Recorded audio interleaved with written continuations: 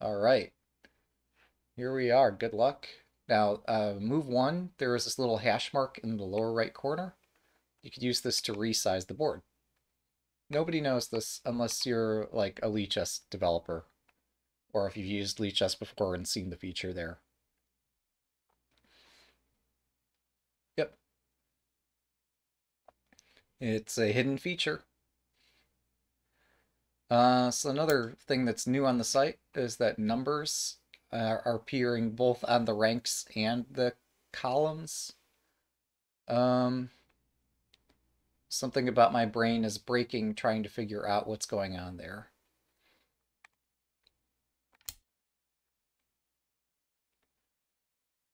Um, right, so I'm playing as Gote, so the lower left corner actually is 1-1. On 81 Dojo, when they number the ranks and files, I believe they either do so with the left hand and bottom, or the left margin and bottom margin, or the top margin and the right margin, because of the way that Japanese writing style is done. I assume, I don't know, but I assume, like, if I flip the board, you would count the uh, ranks 1 to 9 down the edge, because this is the way they would write down the right file. And then they'd go over to the next file down, and this is how they would like write in a journal, is one column at a time. I think. I'm not an expert. Don't quote me, but that's what I think and why I think like the notation is traditionally to the right or above the board. Um, anyway. Yeah, static rook. You don't see me playing that every day, right?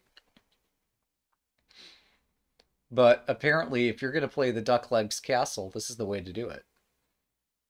So, um, I believe we saw a second ago that our opponent in this simul, Shogi Explained, has taken on about 10 opponents, and I believe he's explaining some of the games. Unfortunately, there's not a great way for me to like see a mini board showing like here's the board he's on looking at and commenting on or something like that. That'd be cool if like somehow I could see that in the margin. Like here's the board he's looking at. But um, as is, we're just gonna make do. Uh, okay, the file descriptors notation do show up below the board. That's good to see. Oh, right, I can draw arrows on the site. So yeah, you do this, you do this, you pull up the silvers and pull out the golds. And then unlike what I did this morning, where I basically allowed Shogi Harbor just go straight down the eighth file and place a piece on 8-9 or 8-1 and ruin my castle. Um, evidently, like what I should do is be protecting these squares they're particularly sensitive on the eighth file, so I don't get overrun on my own back rank. I had a feeling that that was appropriate, but I wanted to see like if there were a way to punish um, behavior if the opponent decides to play very aggressively. Um,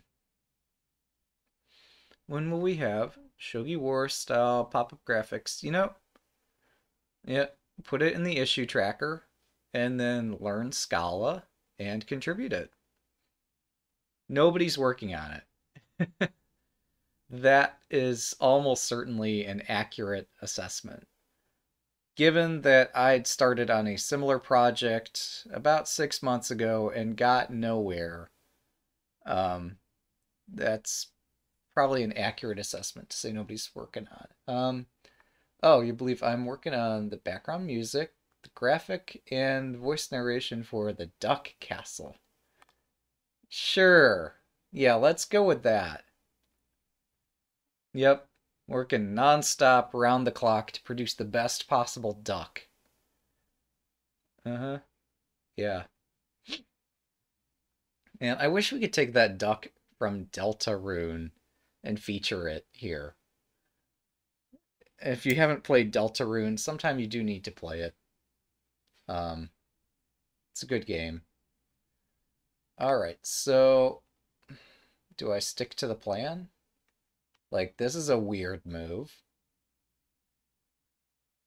Um, I advance the pawn in front of my rook again. I could see whether he's going to move his bishop or move the silver. Let's free up some space in front of my rook, shall we? But yeah, generally, next up is this. And this targets the square. um... oh, it's not a weird move. It's the move order for Yagura. Like I said, totally a weird move. What realistic shogi player would ever play such a thing? I'm going to double down on my assertion. Cause, no, okay. Yeah, you're right. Fine. All right. I thought this is the year where we double down on every sort of statement we make. Because, you know, apparently that's a way of showing strength or confidence. Also, uh, the clock here shows 01, 16. Perhaps this leading O, zero, might not need to be there. I'm trying to think of circumstances where this clock actually shows over nine hours. Given that even if you were to add time to the opponent's clock, I think it only goes up to six, something like that, hours. I'm not sure that there is a need for this to support more than 9 hours and 59 minutes. Now, correspondence uses a different clock, so maybe there it would be appropriate. Um, oh, yeah. See, this is the Gangi thing. Snow roof. Um, yeah. See? Even when I'm wrong, I'm still right. Alright. Uh... But yeah, Yagura is just a really weird opening, and what realistic player would ever play that, right? Uh, so, um, yeah, one of the things that seems to crop up a bit in this, after this bishop comes out, sometimes there's some tricks that take place on this first file. And I don't really understand these tricks and tactics, but sometimes you can do some crazy sacrifices to open up uh, the opponent's king's position.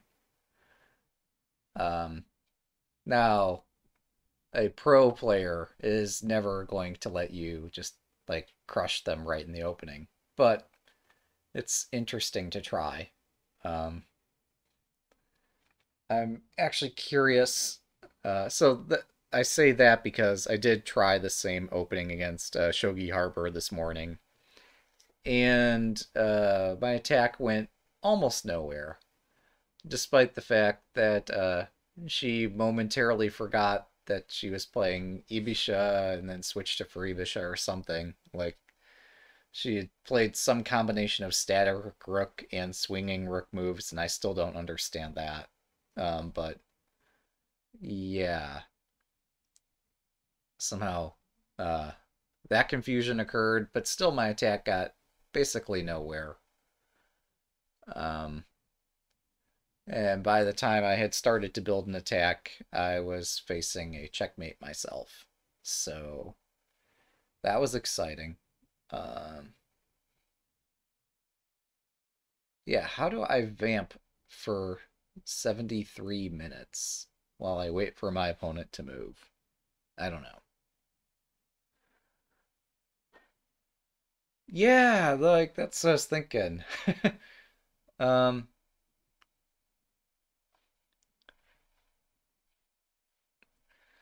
Oh, can you imagine?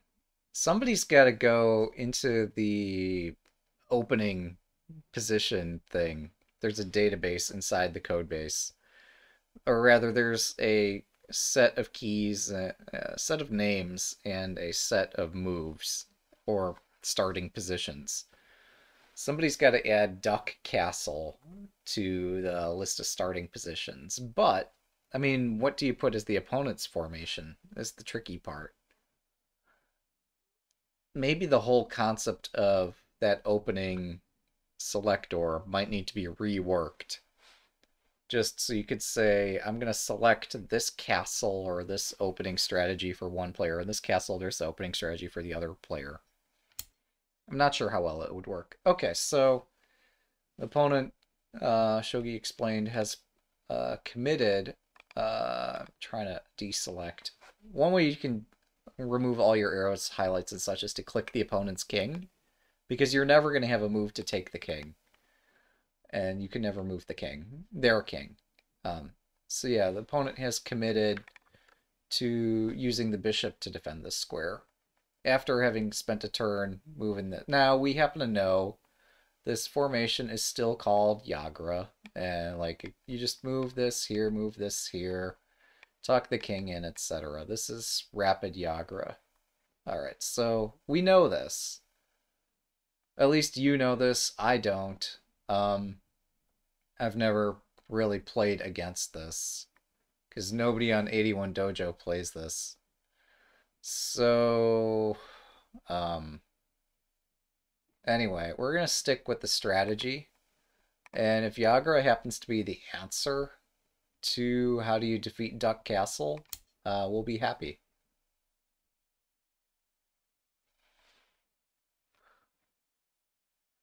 Oh, also, the longer I wait to make my move, the more boards he has to go to before he gets to my board.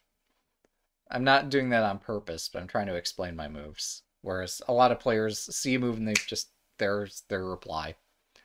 This is how simuls have been going lately. Um, and I'm not sure if everything switched to Byoyomi, how that would change. It probably would not. Although, um, if we were using Byoyomi clocks, it would actually behoove players to take their time and not be afraid of getting into a Byoyomi thing. This is not Yagura anymore. Yagura would be Silver 7-7. Oh. You can't do Yagura with the bishop there? I mean, I guess I've normally seen the silver go there and the bishop go to 7-9. Like, normally when I see Yagura, it's this shape, and then the bishop comes out this way somehow. Um, uh, so you're saying this is not considered Yagura anymore? Okay. I can believe that. So, yeah. Oh yeah, Ahriman, um, he's played a lot of games where the rook has ended up just sniping this. Um, I just thought my opponent was still playing Yagura so I didn't even bother. But no, you're right. This is exactly what uh, the YouTuber would do. Um, he just snipes that every single time. Now, I don't know if I could actually get that pawn, because if I move my rook up two squares, they're just going to push that pawn forward. So I don't know that, like, my rook is actually the right piece to pursue that. In a lot of other positions, it would make sense. Here, I don't know if it's possible. I guess if this moved forward, maybe I push this pawn, they pawn advance. Yeah, I'm still not sure how my rook chases this. Um. Oh. Alright, so we're looking either at Snow Roof or even a possibility of a delayed fourth file rook. Um. Can't say I understand anything about that. Because what we're looking at here um, is me attacking that center pawn. So for them to balance that out, this has kind of got to stay here. Um, so I'm not sure how the rook would get to the fourth file in this circumstance, although in other opening patterns, sure, you could say that this might be delayed fourth file rook. Here, I don't think that's possible. So I guess I'm forcing him to play Snow Roof, which I think he's played before. Um, if he hasn't played it before, this will be interesting. Uh, wait. Fourth file, third file, or even opposing rook. I wonder if I'm being trolled here, because I don't see how the silver can move. Like, they'd have to move a gold in front of the king in order to be able to move the silver in the first place. And if they're moving a gold in front of the king, that's yet one more move when they have not started to build the castle. Unless they can, like, build one of these snow roof or something like that. Um, pawn 6 6. Alright, so you're saying let's push this. And then silver 6. See, the problem here with pushing the silver is that that silver has a responsibility. He needs to, like, put another gold in front. Or needs to, like, move the rook to defend this or something. Like, I'm not sure that they have time to get involved in building something so extravagant against um, this weird opening that I'm playing. And if they do put a gold in front of their king, the rook's not going to jump over the gold. So, yeah. Yeah. Well, I just know you stick the bishop there, and then sometimes it participates in attack on the first file and we'll see what that means. Like the knight can hop out to the first file and stack itself on one seven, and you just keep sacking stuff on the first file until you break through. Um, this happens. So I don't really know what that means for my opponent's situation in this game.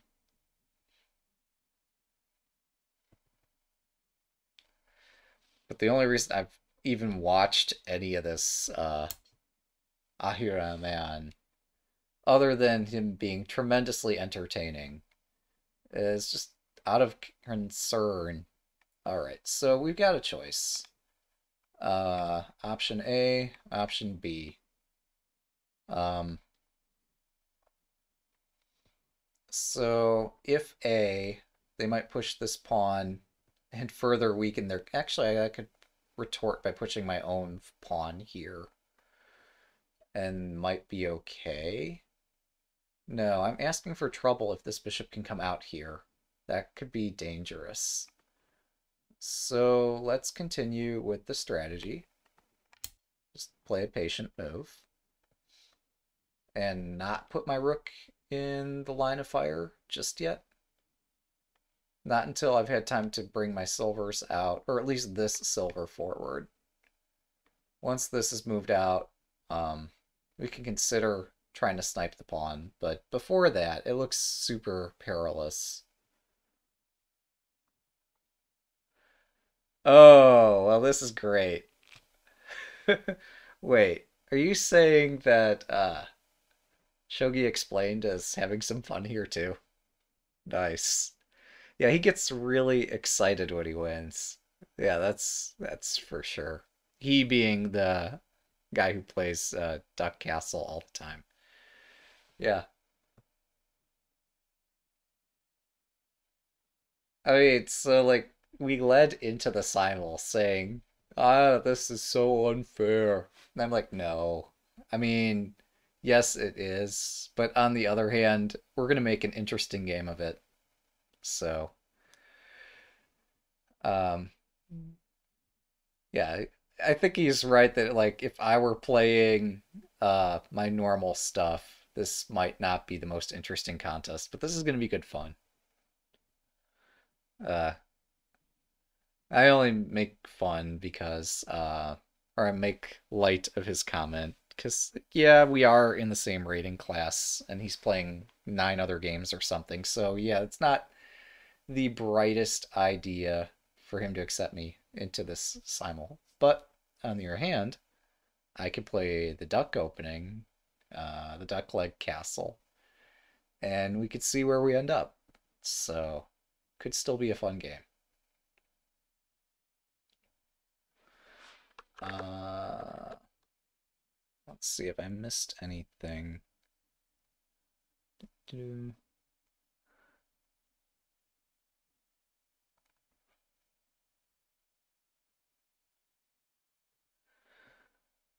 oh, yeah, Woogles has released a new update to their Chris Cross Words site.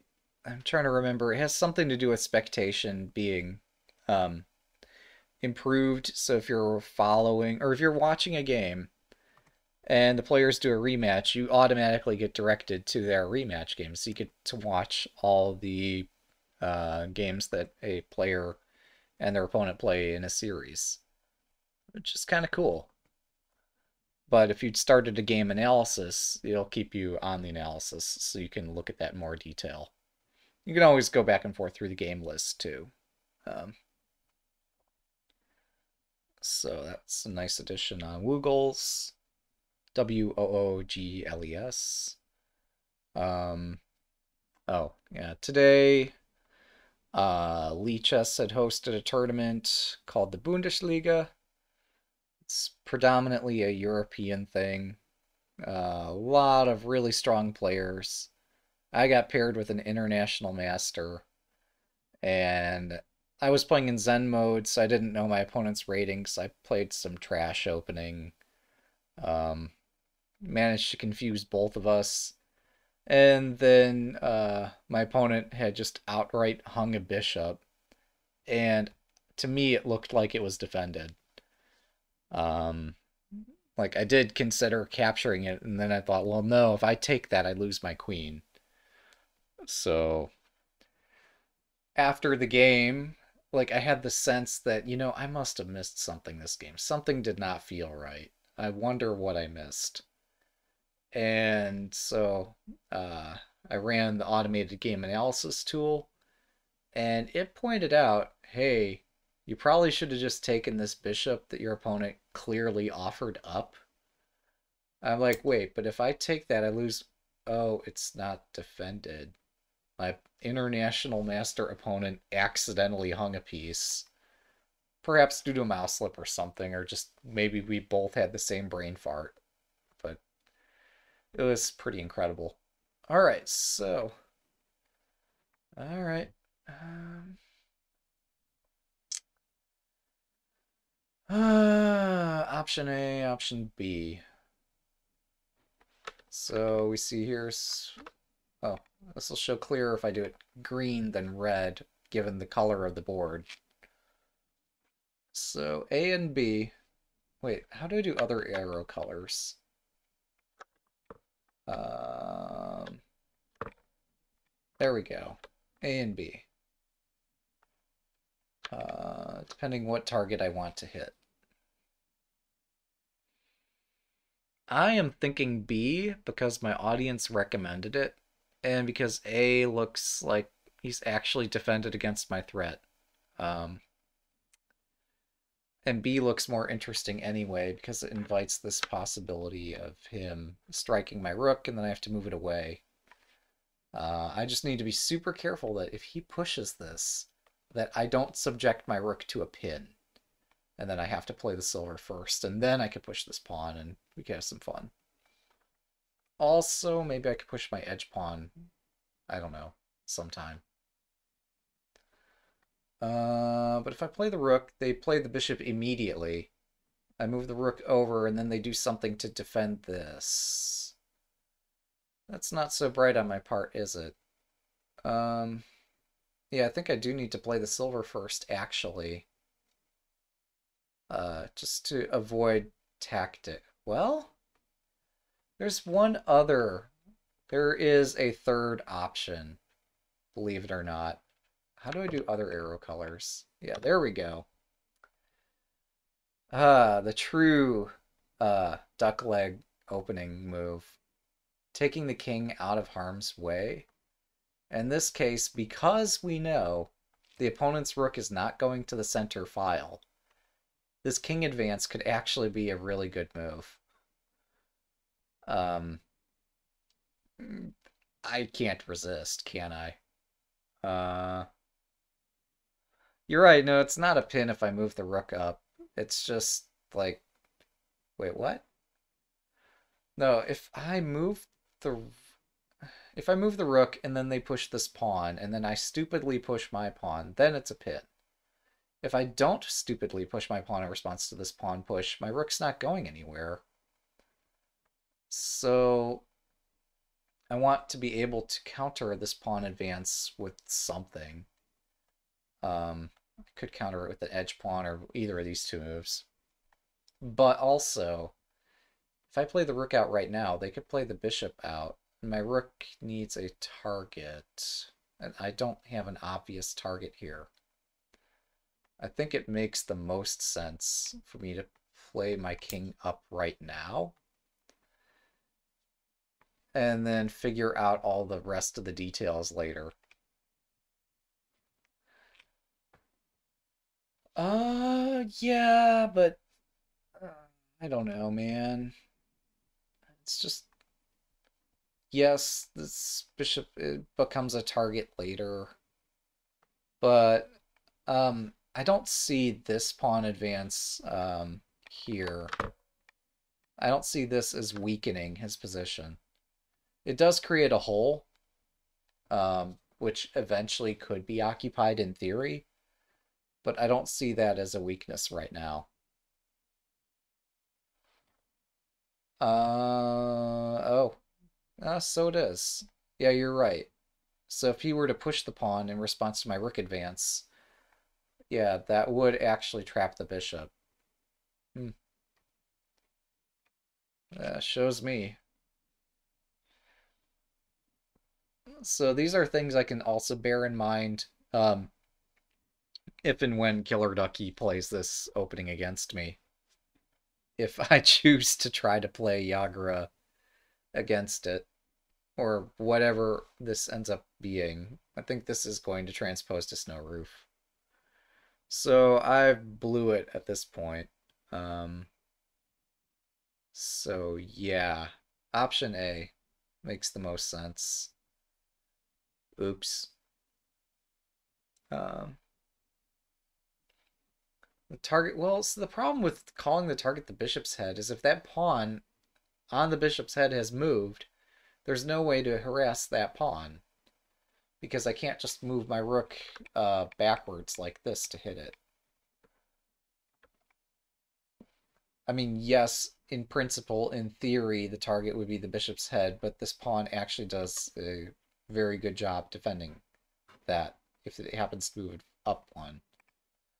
Now, I could just be talking on my butt because I don't know anything about this, but um, yeah, I don't know. I still think my king move is a decent use of a tempo. Um, but I am concerned. Even though my opponent has not activated their pieces yet, I am so concerned. So it'll still take me four moves to complete um, Duck Castle.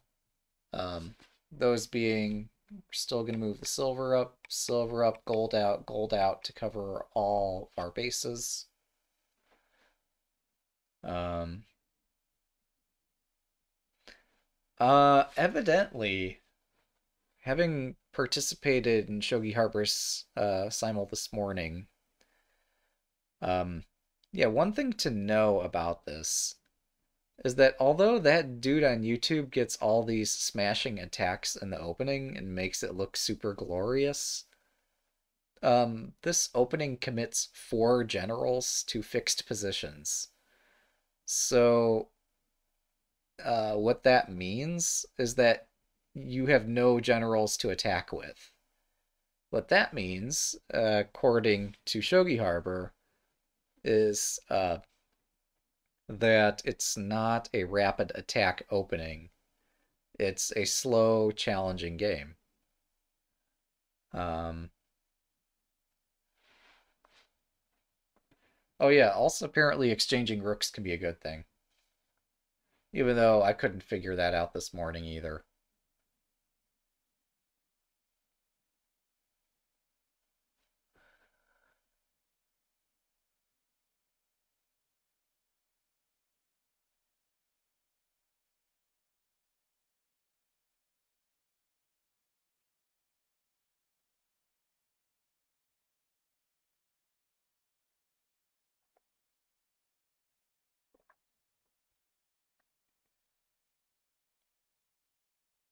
Yeah, so while at, on the one hand, I've been very excited this particular tourney to master round that I have got my pairing with Killer Ducky at last.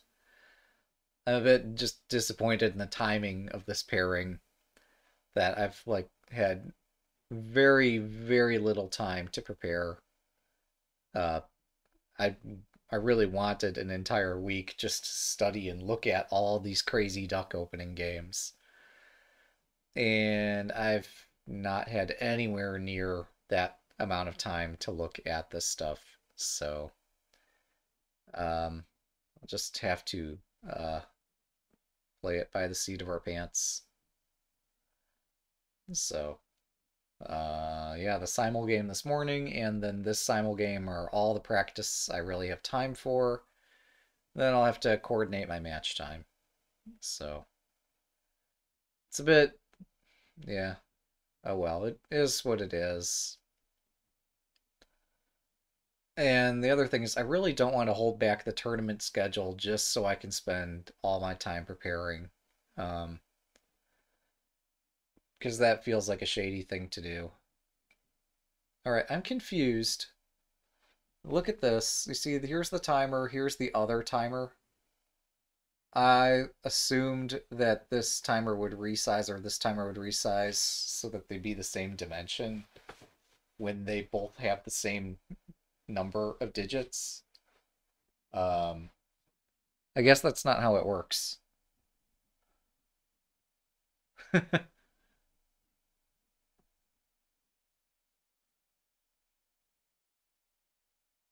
Yeah, so if I like hit F5 here, uh, and then I hit the yes, I really want to refresh button. There you go.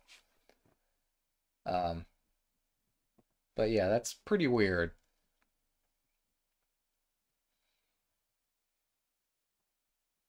And I bet that Lichess also has that behavior.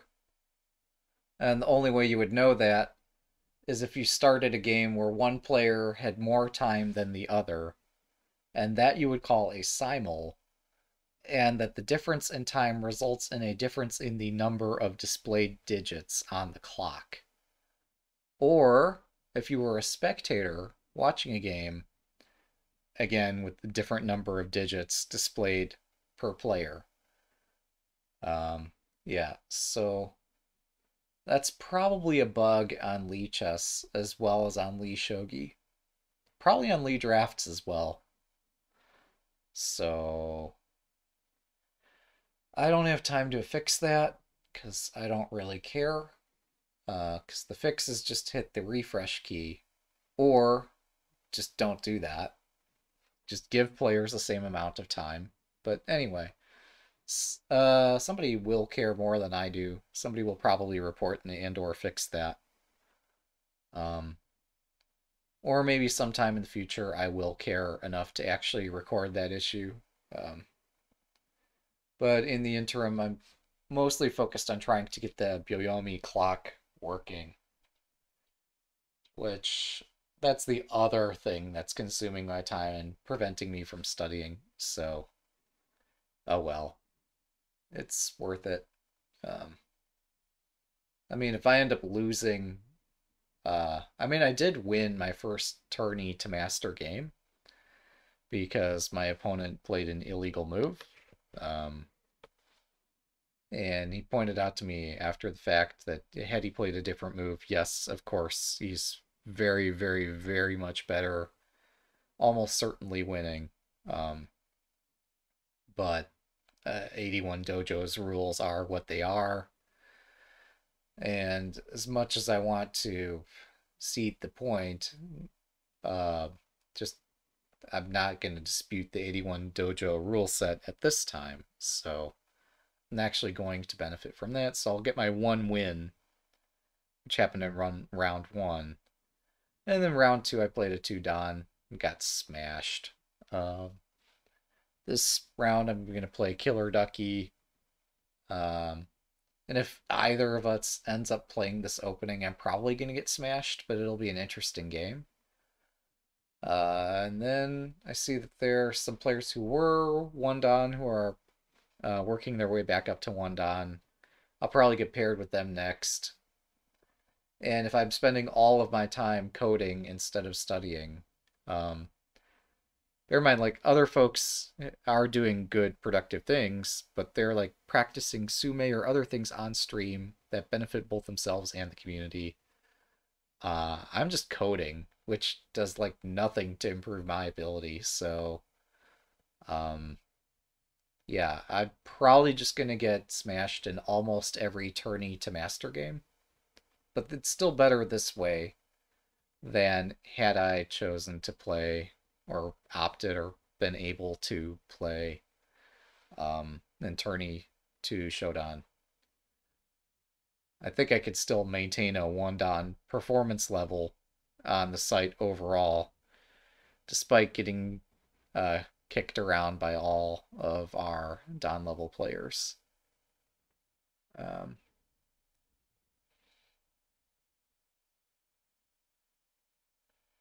uh, I don't know. Like, I'm trying to watch Ahiroman, but also like I have no attention span um because of work and life and coding. So like I'll have it up and running and he'll make funny remarks and I'll be like aha and I watch him make the fun shapes and but um realistically yeah, if I'm watching it, that's one thing. If I just have it up in the background and I'm not like trying to figure out everything, or if I just have no idea what's going on, I'm probably not going to improve too much. Uh, yeah, I probably need to play on like multiple shogi sites to actually improve.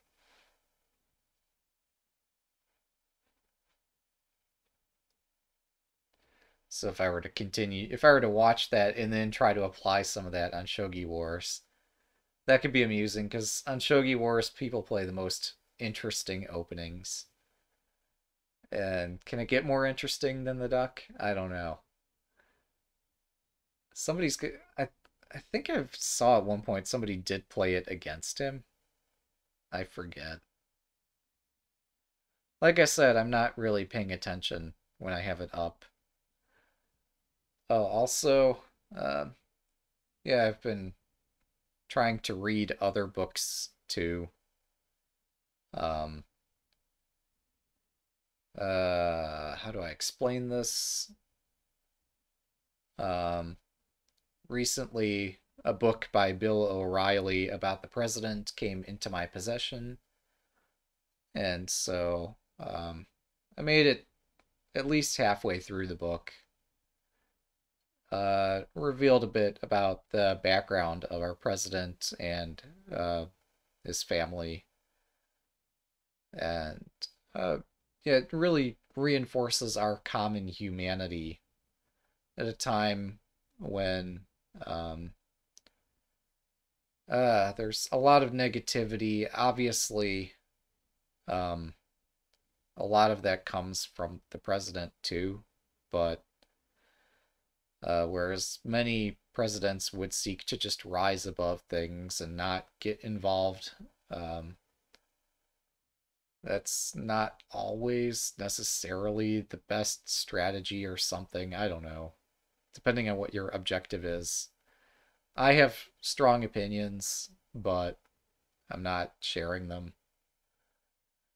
But yeah, this book came into my, my possession. I made it about halfway through the book didn't really tell me anything super special other than like it reinforced like people are human and um, they do things that interest those and the people they care about.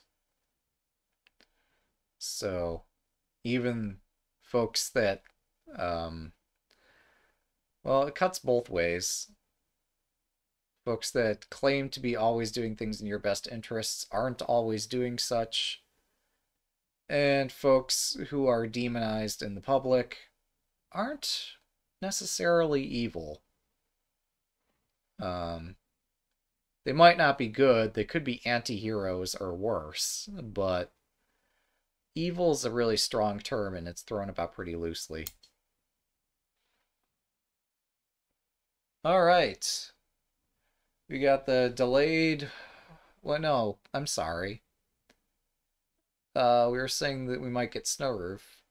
This is not delayed fourth file rook at all because there's two generals blocking the rook from getting to the fourth file. Um, so this is Snow Roof, which I don't remember. Um, but okay, yeah, now they can actually easily defend um, this pawn on the bishop's head. It still weakens their shape to do it. Um, so perhaps I should force the issue. I just don't know. Yeah, okay, so this is Snow Roof. Um,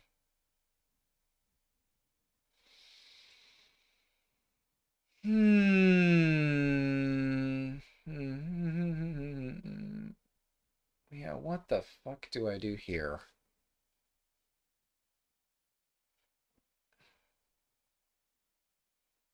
Because my opponent actually wants to put a general on the 6-7 square. And if they're doing that, then the pawn on the bishop's head is not a weakness. So I'm thinking I want to complete my castle. But, uh, like, all my short-term attacking prospects are out the window. Um, this is kind of why I was saying I effed up, by giving my opponent time to do all this. Um, so I'm not too happy about this. I could still try for an edge sack. So yeah, I could push this edge pawn, try to bring the bishop out and do crazy stuff, and bring the knight out. And Well, this doesn't even have to be done immediately, but this can still be done. Got to complete the duck castle first. Okay, so I'm not crazy. Um, Zug plays chess, of all things, on lichess.org. So that's going on too. I just mentioned that because Zug, being a national master, uh, I don't know, deserves a better audience than often he gets. And he's a great teacher, too. He's not, um, he won't give you the same opening advice that other masters would give. Um, he wouldn't give you the same endgame advice that I would give. Um, but he still got a decent somehow vision and ability to teach the game to players um, at least up to a 2000 level. So, yeah, I'd still recommend people do watch uh, Zug Addict uh, play chess. He will point out a number of instructive things and explain them in uh, great detail. Whereas uh, some other masters might not go into the same level of detail explaining a concept.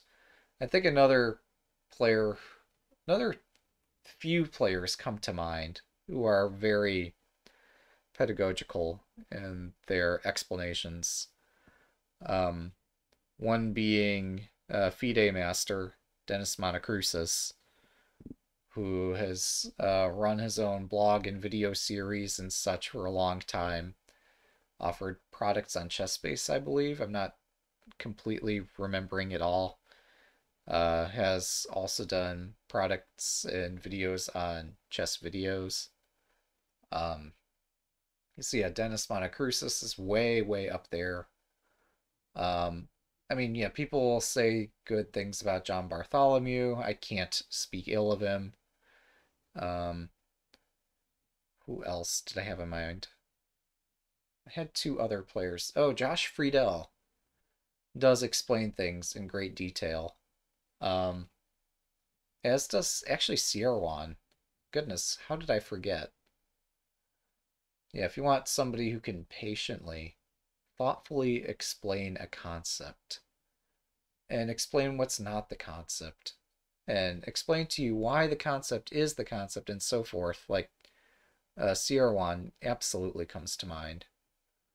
Um, I'm feeling terrible for forgetting the other names I had that I was going to mention. But yeah, online, it's rare to see a master go into detail explaining things the same way that Seirawan or that Monokroussos or that Zug Addict do. So um, that was my main point, is that it's worthy of watching. Even if often the other thing that's incredible is just watching like so you've got this national master who has performed excellently at tournaments who does very well studying and producing puzzles and studies and all sorts of interesting material. Who has this tremendous knowledge and love of the game. And just momentarily sometimes will have the most epic brain fart. Um and it's very unfortunate but it's also curious to see okay like the same way you could watch a tetris player try to dig themselves out of a tough situation you could watch a chess player try to figure out um, just how to recover from a hideous mess that they've accidentally put themselves into. Yeah, there's a lot. It's amazing. Um, ever since, well, two phenomena. One, the thing that is 2020, and two, um, just Lichess doing a tremendous job promoting uh, or providing a platform rather, not promoting, but providing the platform that provides the best live streamer experience. Um, it makes it really easy to get online. Makes it easy to produce a large board and feature that on a live stream, and you can even put a webcam in the corner or something. Um, Lichess makes that really accessible and makes that user experience great. Um, now, some people will like not put in the effort to like make the board large because they don't care. Uh, either they don't know or they don't care or they just haven't asked or haven't tried or they're just not familiar with technology. Um, so it's unfortunate you'll find a number of players out there who do live stream who just like they have a window inside of a window inside of a window and then they'll have some minuscule board hidden somewhere in there. And you'll see their face their room their dog their everything. Fine that's their free choice to do that sort of thing. Um, but no Lichess provides a good platform. Uh, what Lichess is kind of lacking at the moment there is uh, cross promotion opportunities. Since it's so accessible, there's really no rules or guidelines about how live streamers are supposed to cross promote each other. So even though sometimes this does happen, it could, the community as a whole would benefit if uh, there were more cooperation between uh, them instead of thinking about it as competition. Um, it's rough. Especially when if you are a live streamer and then you say you play video game music on a piano while you live stream and you meet another person who could play like classical music on their piano as they live stream. You could even do events together. Uh, you might feel threatened somehow. Not that you should, but like people just fear the unknown. So, yeah, you have that sort of phenomena where people are afraid, well, there's a better person out there. Why should I try to help them if they, I don't know if they're going to always help me back? And maybe there's some validity to that, but it's just sad. So yeah, there's a lot of competition in the way that's perceived. Um, whereas in like Shogi and Go and I think Woogles as well, there's not yet that same volume of live streamers yet. So there's just, hey, we're so glad that you're here and please check out all these other people and these resources and A lot of cross promotion going on. Not really seeing it as competition at the moment.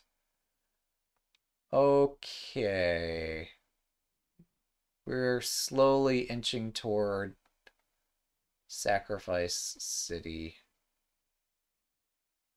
Um, didn't expect that to happen so soon.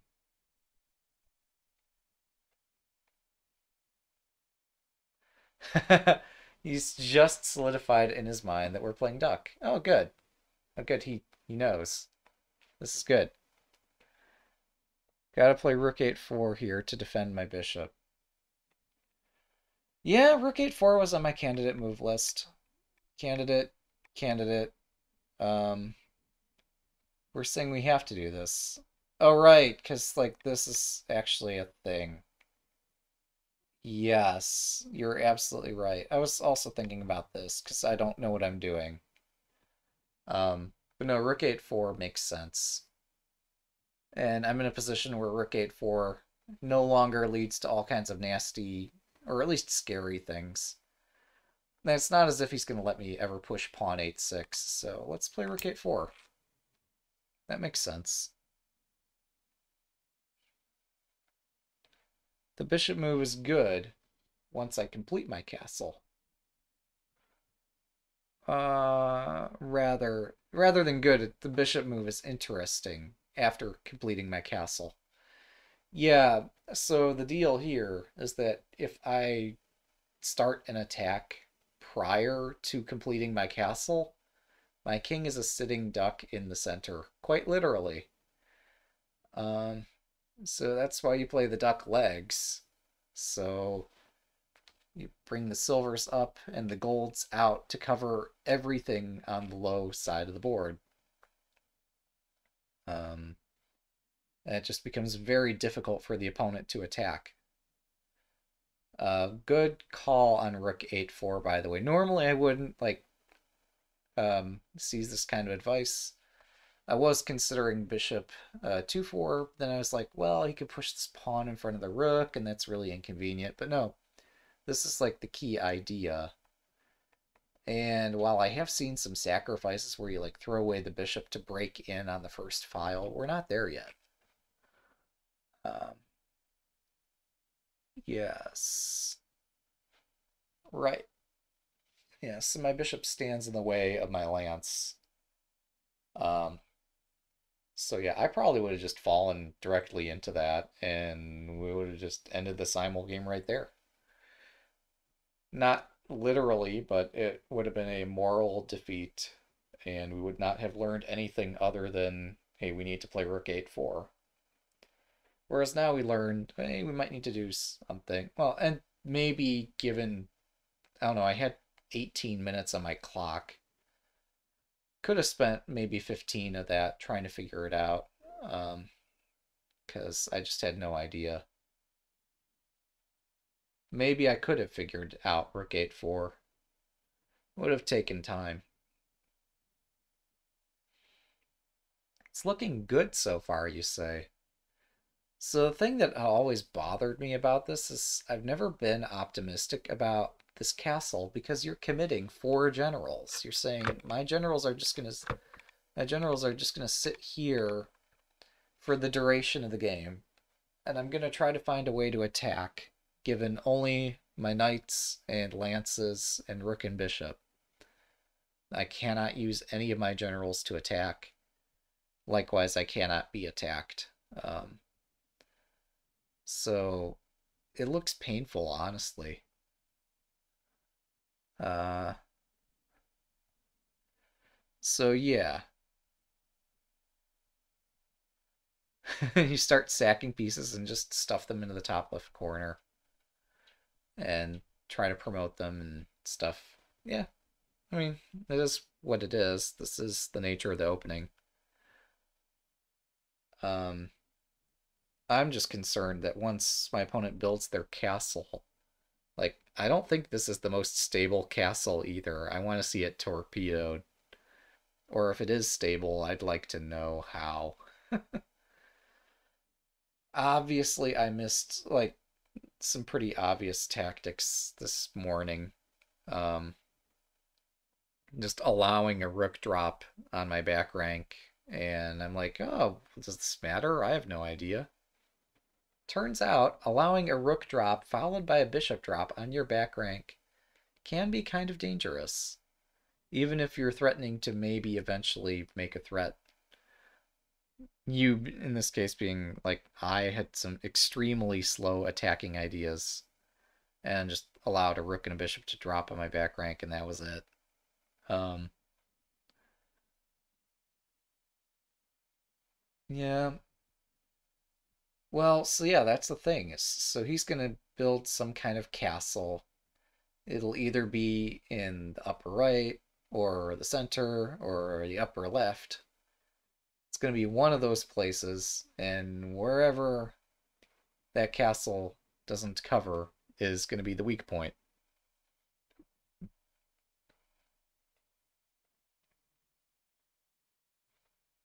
I'm not even playing this to try to win it. I'm just playing this to see two things. One, can I learn this castle a bit better for both sides?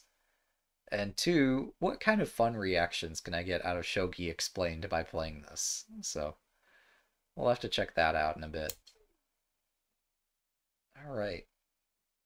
So he has defended the head of the bishop. Also, I don't know if that's snow roof or not, but it's a shape. Uh, if I play the rook to the center file, they could just the silver right in front, so it probably behooves me to continue just building the castle one silver at a time. Still snow roof? Okay. That's good. Um, yeah, let's just keep building the castle. So I've seen a Hero Ahiroman play like silver, silver in some order, then gold and gold. And then he plays the king up. Um, we happen to have played the king up first because it seemed practical. Um, but yeah, we still could play these out. I've one time I saw him play this the golds up instead of to the side, which creates weaknesses on the back rank. And the reason we know it creates weaknesses is because Shogi Harbor uh, put a pawn here. I took it, and like, yeah, I opened up my back rank. So you don't want them up here. You'd rather have these bolts off to the side. Yes, Spinal Tap, I am playing the old Duck Castle. This is my second game playing Duck Castle. My first was playing it against Shogi Harbor this morning. And you can guess who won that game. Um, yeah. Are you following Ahiroman? uh,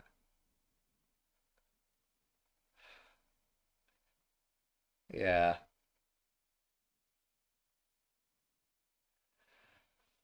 And the more that I've tried to watch Ahiroman, the more I just get so puzzled like what the heck is going on.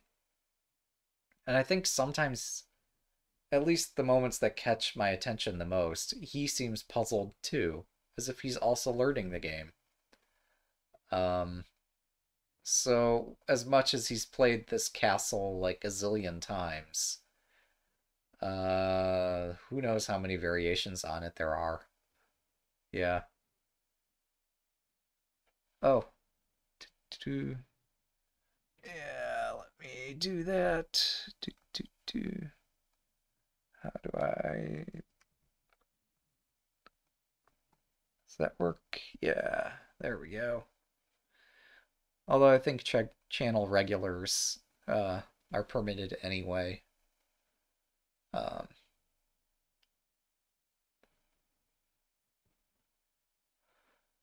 but yeah, there's... Oh,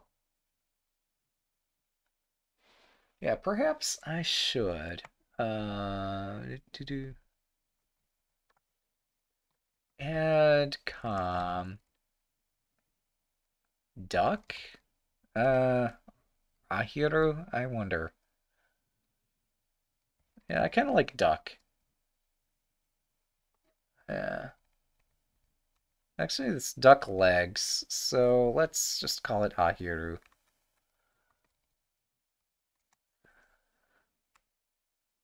Yeah, so we got a command for Ahiruman now.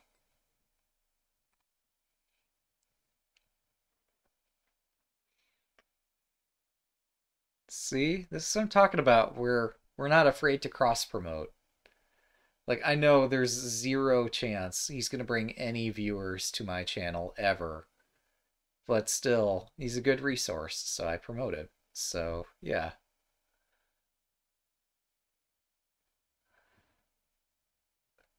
But uh, I should return back to my earlier point that um, it'd be fun to get the duck from uh, Deltarune into um, the in-game display for castles. If anybody ever does that. Have you ever seen the duck from Deltarune? If not, you've missed out. Uh, got a comment in one of his videos. Uh, oh, has the English community representative. I think one time I did comment or something pretty extraordinary happened in the video. I'm trying to remember what, but you're right. If I comment more regularly, maybe he'll have some idea that there's some kind of English audience for his videos. Uh, partially thanks to him setting the video language.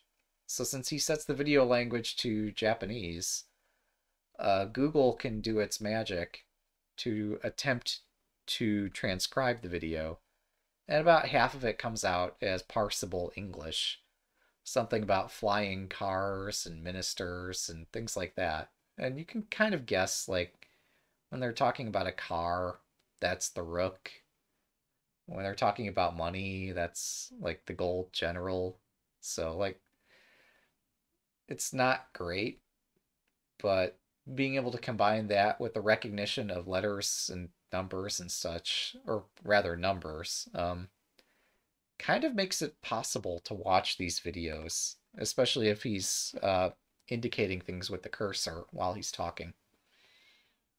So, such is the state of translation. Uh, and that's something, you know, if I have time, I'd like to work on, but it's never going to happen.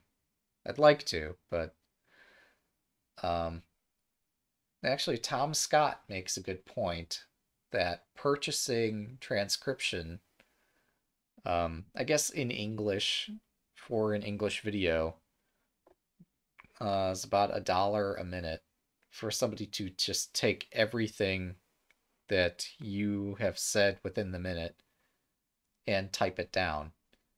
I assume he's talking about just transcribing an English video. I don't know what the rate is for other languages by other providers, but uh, okay. So I want a rook exchange, and my opponent is very close to offering a rook exchange. So I am extremely confused. What? Why is he not castling? Is my position just that weak? I mean, I have to complete my castle here. A rook exchange is going to devastate me on the eighth file unless I move this gold out. So there's really not a decision to make here. But, um, yeah, this surprises me that uh, he's this anxious to play a move that I haven't seen played against Ahiruman. So, yeah. You know, more likely he would send viewers to my videos. Although my most popular videos have nothing to do with shogi. Like, one time I did a speed run of super solvers, gizmos and gadgets, airplanes, or aircraft. Um, apparently that one got quite a few people interested in science, which was really the goal. Um, some speedrunners complain, hey, this is not a speed run, because even though you have a timer going, you suck. I'm like, okay. So, I mean, I did make a good attempt. I think I had a decent time. If I practiced, I probably could manage a better time. Um, they're not wrong that I'm bad at gizmos and gadgets, despite having practiced many, many years ago. And despite having some very extremely limited repertoire strategies, um, some basic things about how do you navigate the map um, were not quite there. Anyway, um, my most popular videos do not have very much to do with Shogi at the moment, although I am producing quite a bit of content. Uh, yeah. Yeah, it's the Duck Leg Castle. Um, so I think it just means duck. Um, I don't know, like, where the leg thing comes into play, although obviously, like, the shape, you're, you have the duck kind of floating in the middle and sticking its legs out to the side. But, um, I think ahiru just means duck. But it's I think, implied that it means duck legs.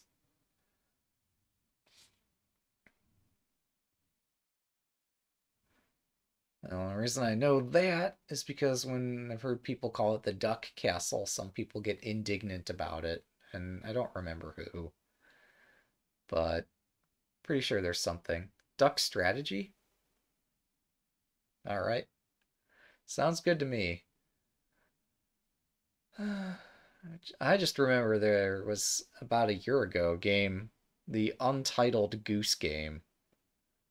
Uh, like where you get to be have the full experience of being a goose, just going around taking things out of the gardener's yard, um, biting things off of shelves, uh, snatching items from people and from stores and just otherwise being a nuisance uh, and making noise.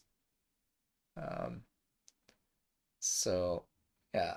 Um, unfortunately, Untitled Goose Game was not about a duck, but I think we can agree that both geese and ducks, uh, although geese are more evil than ducks, um, I think we can agree that they're they both have some kind of free spirit that annoys the heck out of other living beings.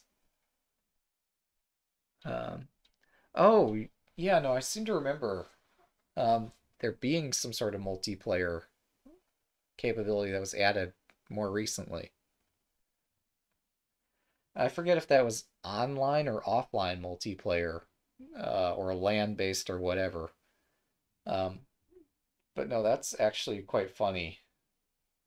And I think in some cases a bit easier because some of the challenges in the original game were difficult with you have the gardener chasing you around trying to undo all the things you're doing sometimes fighting with the gardener can be a difficult experience so makes sense to make a multiplayer game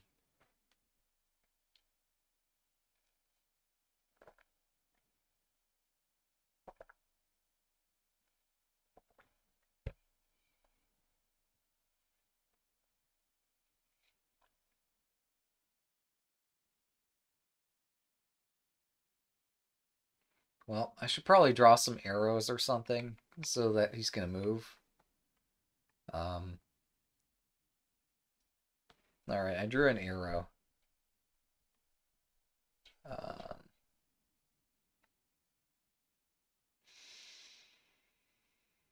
hmm.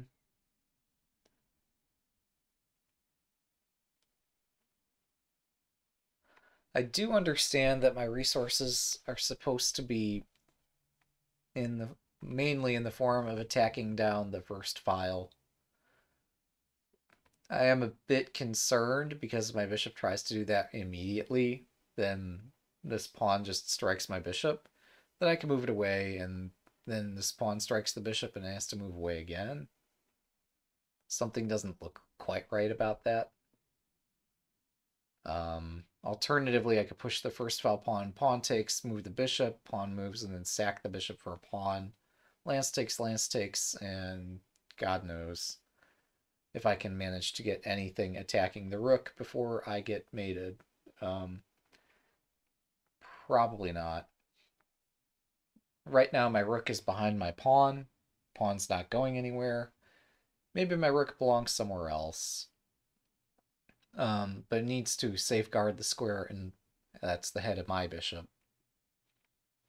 So this is kind of a target. So now we've drawn an arrow, we've drawn a circle. Uh, Shogi Explained must be thinking about something. Probably not even this game. Um, yeah, he did volunteer to play quite a few games at once.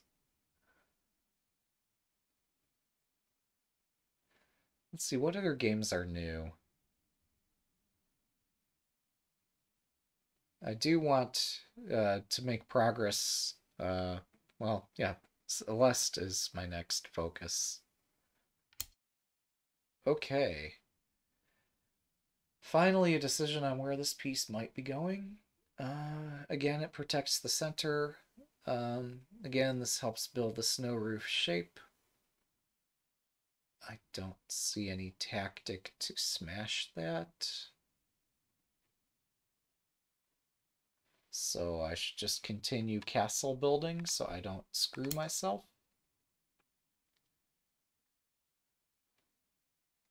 And now Duck Castle or Duck Strategy is uh, in its first formation. We have constructed the duck. Now we have to figure out what to do with it, which is the hard part of the game.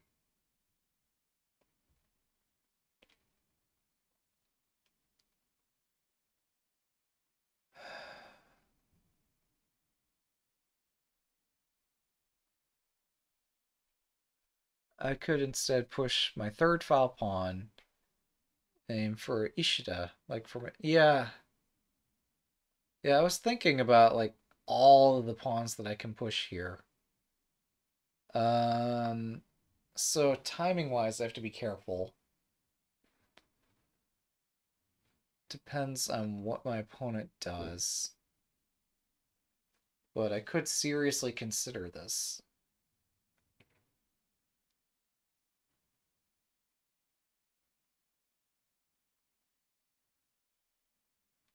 Ah, I think what Abigail is announcing is that I have uh, constructed the duck castle. Yes, right. That's what I was thinking. Is like, well, in theory, it sounds really nice for me to do that. In practice, it immediately seems to get my bishop in trouble. So I don't. Ahiru complete. All right, that makes sense. So yeah, I might need to move the bishop before I try to do that. Um,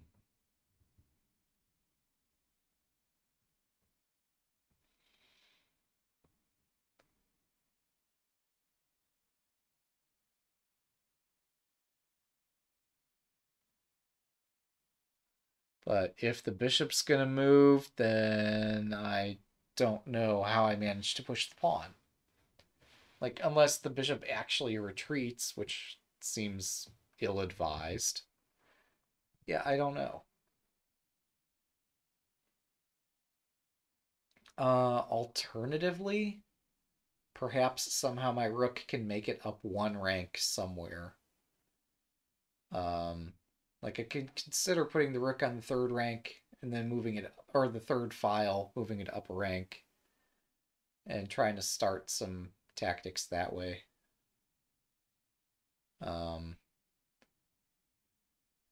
or if my opponent builds the snow roof by pushing the center pawn, then maybe my rook can go to the fourth file instead, and then up a rank. Um, yeah, I don't know.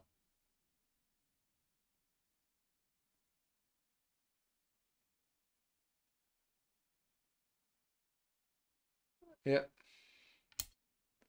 We're somehow just out of the opening. Uh, opponent is beginning, or has actually formed their castle at this point. And I don't have a clue. And it would be scummy if I had to rely on my viewership to come up with all my moves for me, so... Candidates. One. Uh, uh, uh, two. Um... Three? That seems like a wasted move. Um, let's see. Just looking at four. I briefly considered moving the rook over one more file, but that does nothing. Uh, moving the bishop here just invites the opponent to use their knight. Um,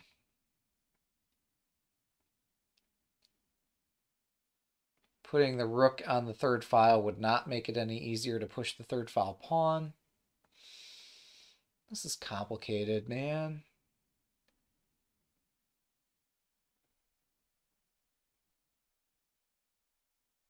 Add bishop to... Okay, yeah. Yeah, I gotta add that. As much as, like, pawn 2-5 looks like a counter, should at least be on the list. This is on the list, although that's, like, suicidal. So we're not going to do that. Um,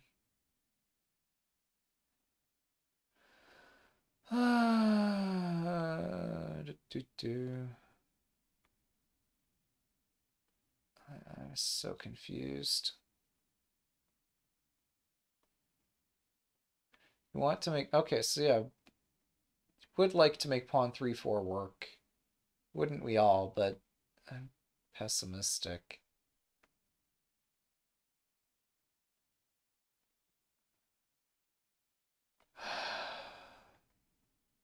So I spend a boatload of time here. It'll be forever until Shogi Explained gets back to this board. At which time he'll have forgotten everything he analyzed.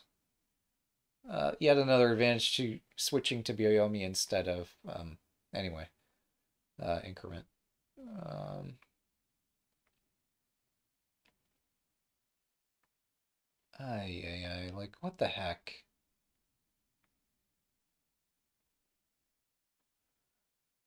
Rook to the center file is not terrible. Would allow me to do a fourth file or sixth file pawn advance. Uh, so yeah, this is a candidate. Well, it strongly encourages uh, either the silver to move. Well, then the silver is going to move again.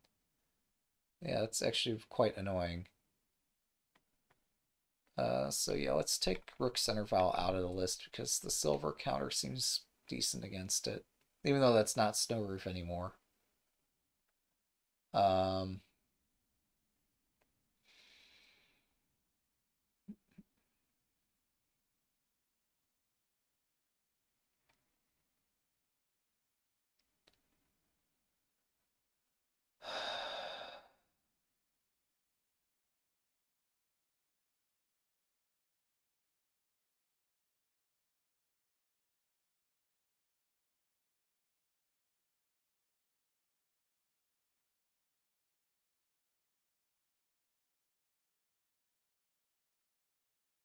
If I could just get a pawn in hand, that would be great. Alright, we're going to play this impulsively because I'm impatient. It's not even a great move.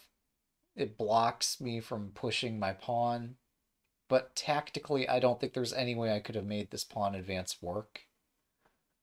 What this does open up is the possibility of me pushing the other third file pawn um, the seventh file. So this might become a thing, and then we could aim again at the bishop's head. Um, this is highly unusual, but like he's doing everything in his power to prevent me from doing any kind of attack on this side of the board. And in so doing is like I don't know.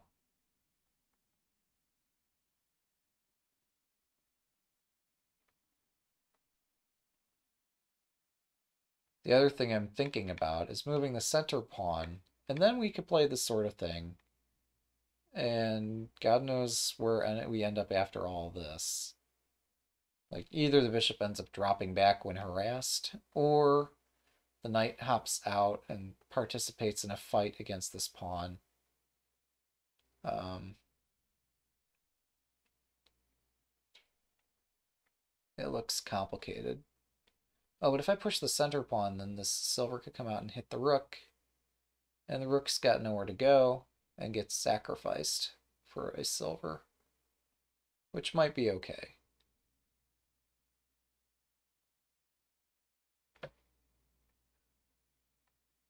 Yeah, maybe bishop 2-4 is the more reasonable approach than anything here. I was just concerned that he pushes this, and then my bishop goes forward, and then he pushes this, then my bishop goes back, and then he pushes this. And, like, yes, he's forming holes, but I have not broken in. I've not made inroads. Um, whereas I think somehow I'm going to make this work. Even though this looks super improbable. I think with my bishop diving over here, I can actually hit this square and start to open something up. Which is really weird, but um, I really don't see what he does.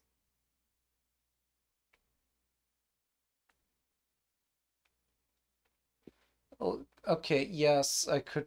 Oh, yeah, I guess pawn 2-4. I was concerned about the possibility of, like, after I play pawn 2-4, how do exchanges happen? Um, I actually should not be afraid of a rook exchange. I should not be afraid of offering the rook exchange to pawn dropping in front of the rook, because then I'll have a pawn in hand. So in chess, the way that we think of forcing pawn exchanges is by supporting the pawns as they advance up the board and then forcing the exchange if we have to. Here, by making the rook and or bishop a target, we lure the opponent's pawn forward and then can exchange it on our turf. Um, whereas in chess, normally you wouldn't want to lure pawns forward because you just lose space that way. Um, yeah, that makes sense. Yeah, I constantly underestimate the value of having a pawn in hand. And I've been smashed so many times by a pawn on the eighth file, or on the second file, or the third file, or the seventh file, that, like, I'm always afraid of letting this pawn just run. And then often I end up putting a pawn down to stop the pawn, and it gets even worse. Um, but no, that's a good point.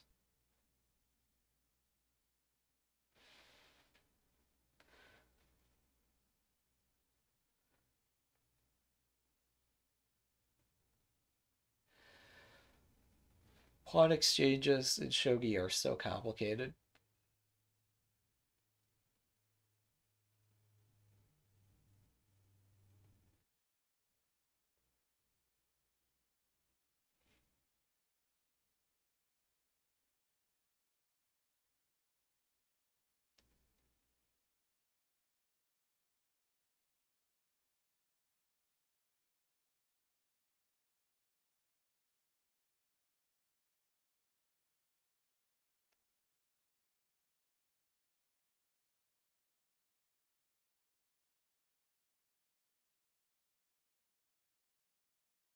And maybe part of the reason I'm playing it this way too, I don't know. Like, if somehow bishop 2-4 uh, did end up just being some sort of opening trick or idea that neither of us really understood, but it ended up working, it'd feel awful winning a simul game playing an idea that I didn't have any faith in. Um, Like, I have to have some belief in my move uh, if I want to win with it.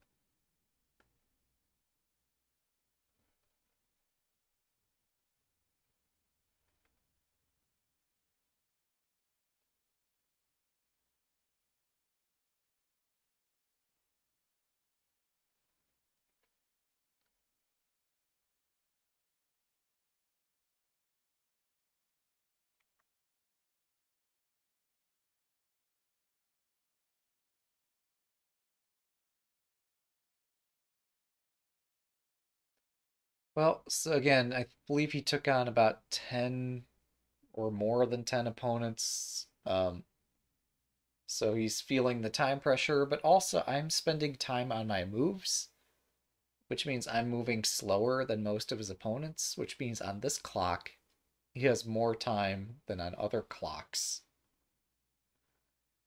Um, so he's not going to get to this board in a very long time. And when he does end up looking at it again, he'll be like, oh, what was I doing last time I was here? I'll have to remember it all. Um, and while for an engine that might be an optimal strategy of sorts, just if engines have an infinite amount of memory and can just instantly reload uh, thoughts, um, yeah, a person might have difficulty playing uh, in a way that they just don't see a game for a while. So a person would maybe shuffle through the games differently than a machine would if given a choice.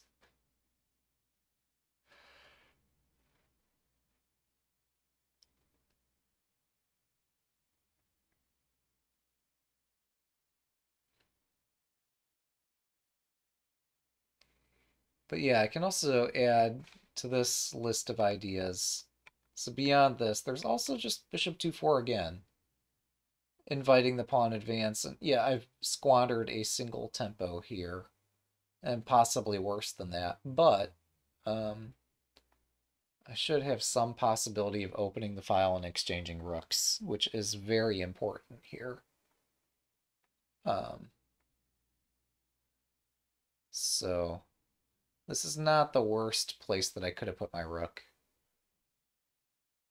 That's not a smart move, but um, yeah, bishop 2-4 is still playable. I have not yet lost. Although I did burn a whole tempo, moving the rook over here. That probably didn't need to be burned. Um, I don't know what our opponent can do given that entire tempo. Maybe they'll just push the edge pawn or something. Try to expand their king's ability to run away from attacks. Although that could backfire too. You never know. Like, if they push the edge pawn, if I push my edge pawn, what are they doing next? If they push one of these other pawns, this does create some weakness. Like, I've got this covered. Uh, hang on. I want to use green circles to indicate what I'm controlling. Um, putting a pawn over here just seems unwise because it leaves this hole behind here. So I don't think they want to leave this as a hole. Um, they're certainly not wanting to open this hole. Maybe they have interest in... Well, they don't want to push this pawn in front of their king either.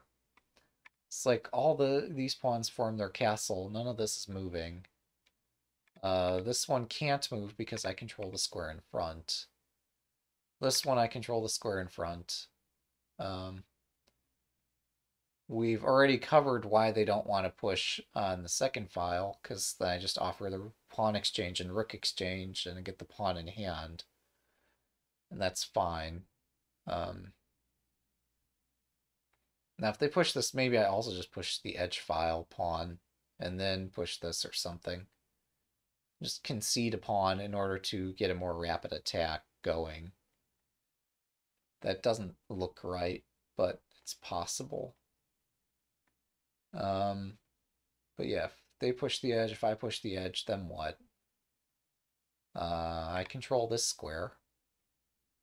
So this marks one, two, three, four, five, six pawns that can't, seven pawns that can't move. Um, and if they push the edge and I push, that makes eight pawns that can't move, and one pawn they don't want to move. So, um, yeah, I'm a bit confused what they do with the tempo here. They could move the king again or something. But until they start moving pawns, uh, they really can't move anything. So that's kind of how I opted to play this rook move. Is by process of elimination, thinking like, well, I could give my opponent to tempo and they can't do anything constructive with that tempo right now. They could try to hunt down uh, my pawn on file 8. But uh, they'd be doing that with their knight. And if they do that with their knight, uh, their knight's not going to be on this board for much longer. So uh, that's possible, but other than that, I don't really see anything they can do other than just shuffle their generals around or maybe move their rook up a square. Rook up a square is not terrible, but it doesn't change anything. So, yeah, it's up to the opponent to find something. So I don't really need to regret my rook move, but it's just a tough situation. Yeah.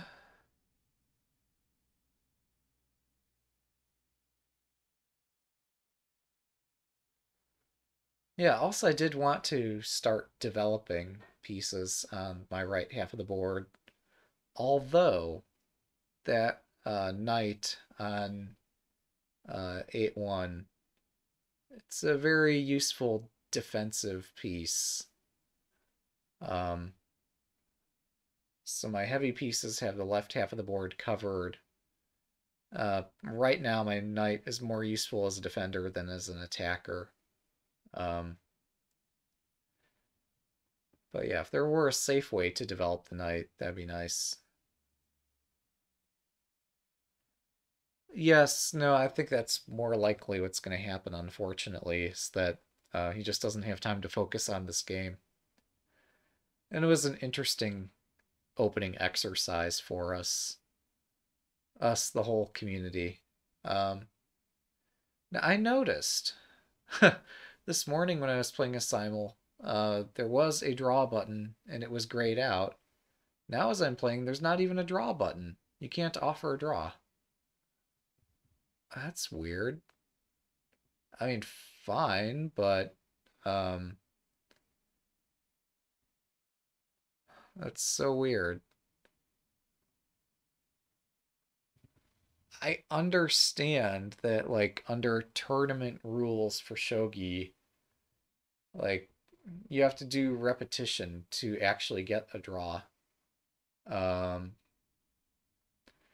but in the context of a simultaneous exhibition, there might be circumstances where an opponent has to go or something else comes up, like the simul host gets in time pressure, and players might want to agree to a draw, despite normal tournament rules suggesting that this should not happen.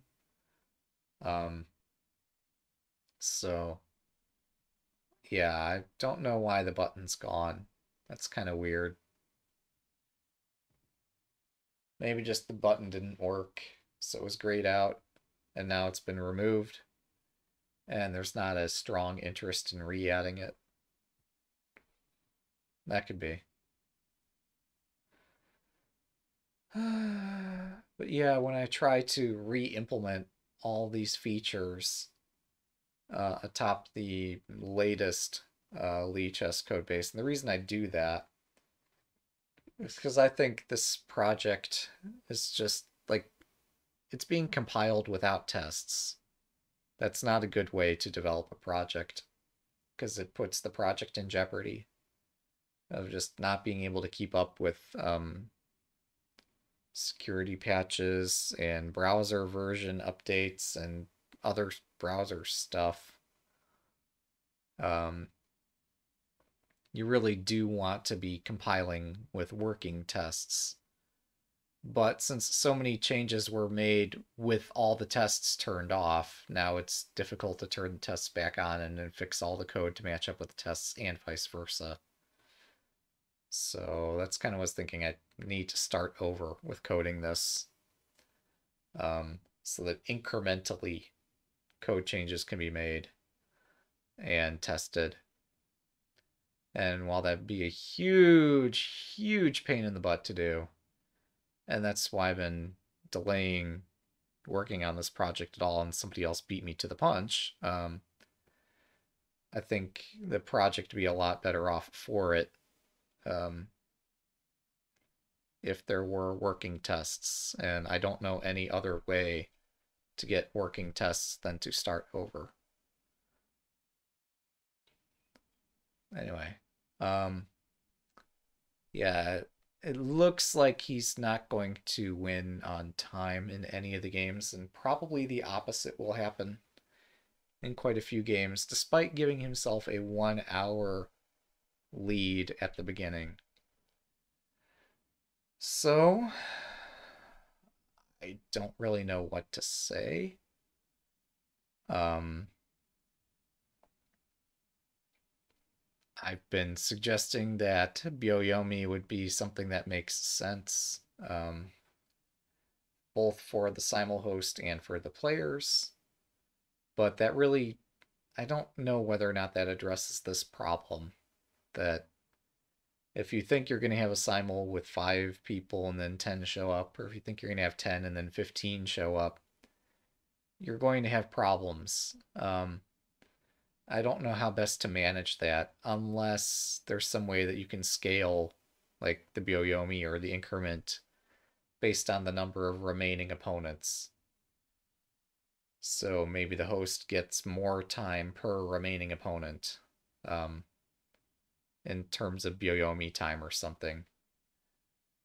So even that's prone to abuse in some way. Like if the simul host is clearly winning a game but chooses not to give checkmate just so they can continue receiving more time. That's possible. Um,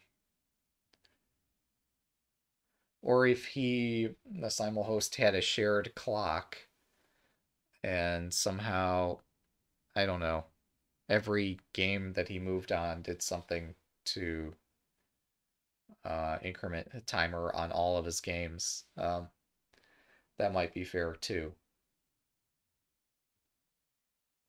Uh, the timer might have to count down faster. I don't know. There's probably some fair way to make it work that I just haven't thought of yet.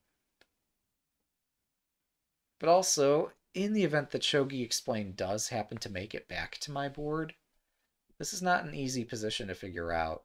So if he is actually here, um, yeah, I don't know what he's going to do. Maybe move the king again.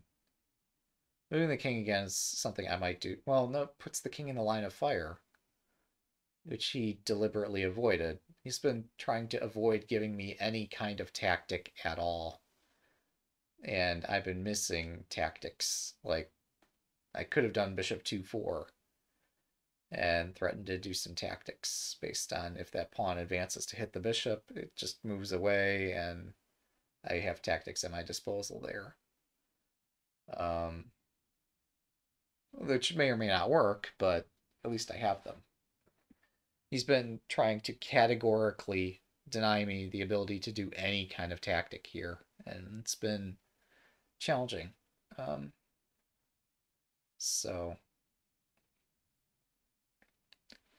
what that's led to is this position where he's had to restrict his own movements um, yeah, he's built snow roof.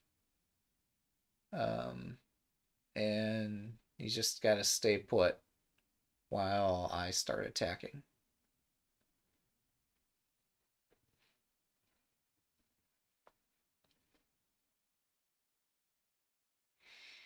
Yeah, we'll take this second bishop move off of the um, display here. Because yeah, bishop 2-4 is the move, and then they advance the pawn, and then all the tactics explode like fireworks. Um, there was an interesting point that was shown um, this afternoon, I think by Shogi Explained. He's pointing out the shape of the squares differs here versus 81 Dojo. And he's right and it's kind of difficult to do much about that. But you'd prefer to have a 12 by 11 proportion to the squares instead of a 12 by 12. Um,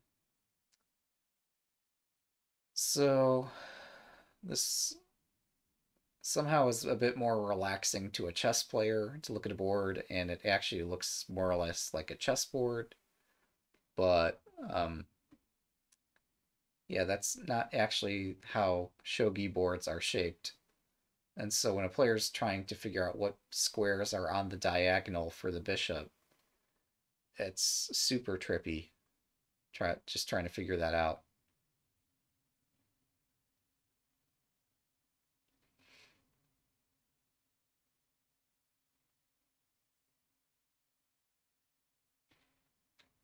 And while normally I would object, um, actually, the more I look at it, the more normal this looks to me. Just because every time I'm looking at a shogi board, I have difficulty figuring out how the bishop attacks stuff. And I've tricked some opponents too, so it's like, yeah, the the fact that the board is not square actually kind of does matter. But also, you can't really fit the elegant two kanji figures onto the pieces um, unless uh, they're the right shape. So, for the pieces to be the right shape, you kind of need the 12 by 11 size squares to accommodate the pieces. He's on six minutes. Oh no. Uh oh. See, this is where I'd want to offer a draw because, like, at this point, even if I beat him, what am I going to learn from this? It's not like either of us knows what this position very well. And so, like, I would be sorely off uh, tempted to offer a draw, just out of respect, so he could play the other games. And if he wants to like play this position some other time, we could do that. All right, so yeah, he left a hole behind. Uh, I didn't think he'd do that because this leaves a big freaking hole on this diagonal. Now, the worst part about this, you remember you were saying he had six minutes on all of his boards, right? I'm actually going to spend some time thinking here because maybe I have a better move than bishop 2-4. Um, and if I have a better move, I should try to play it. and this gets really complicated. Um, so the reason he plays this move, either it's to complete the snow roof, like I guess that's part of the idiomatic snow roof, or I have no idea what this is about. Um, so yeah, moving the bishop 2-4, threatening to break the edge file makes sense. Um, I would like to attack on this file with his bishop on it, but I don't know if I can get away with that. Um,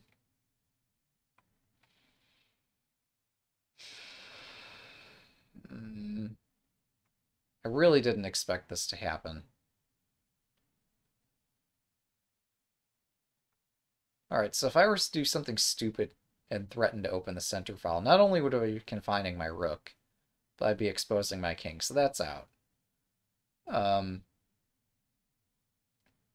if I push the pawn here, I don't really achieve very much in the short term.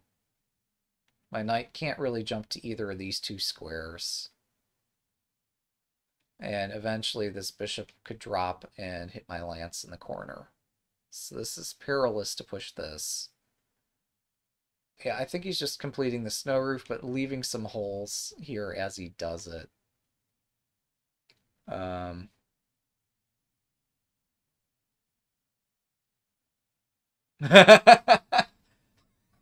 yeah, I mean, what else can you do? And the worst part is, since I'm trying to find like I'm looking at this, I'm looking at this. I've already looked at the center pawn push. It's no good. I'm not trying to spend all day thinking about a move. Um, uh, yeah, I don't see any alternative to this, so we're playing it. But I spent three minutes thinking about that. Which means it's going to be at least three minutes before he comes back to this game and he's going to be in even more of a frenzy the next time around. And again, this is why I mentioned like I would prefer to just offer a draw or something under this circumstance. Um, yeah, if he ignores bishop 2-4, my big plan is to push this. And then he pushes here, right? And like shit goes to hell and you know, stuff happens. Um, but no, also possible, I guess, is that I push this up. No, that doesn't do anything to preempt this pawn strike. Hmm. Hmm, me pushing the edge doesn't really force the issue at all. Like, so we have ideas, but they're half-baked, terrible ideas. Um, so let's put this back, put this back. So he ignores it, I push, then he pushes. Like, I've just invited pain. Um, well, pawn takes, pawn takes. So then we have a couple options, I think. One I've seen Ahiruman do, believe it or not, is bishop takes after pawn takes, pawn takes, which seems nuts. Or pawn, pawn, bishop, like after pawn takes, he does bishop takes. Lance takes bishop, lance takes lance, and the opponent has a bishop, which obviously can hit my rook. And we have a lance, which can promote on the edge and does nothing, basically. Um, that's one possibility. Um, I've seen him do that. Is that any good? I mean, if it's terrible, why does he play it? Um, but another is pawn take, or pawn 1-5, pawn 1-5, lance 1-5. And if lance takes, bishop takes, then we both have a lance, and his lance could hit my knight. And I can't really do anything about... Well, no, you can't put it here. You could put it back there. Um, and I don't have anywhere good to put a lance. So, yeah, I don't understand this opening, to put it mildly. Um, I mean, me playing shogi is largely an exercise of me tricking opponents into thinking I know anything at all. Um, because I sure as hell don't.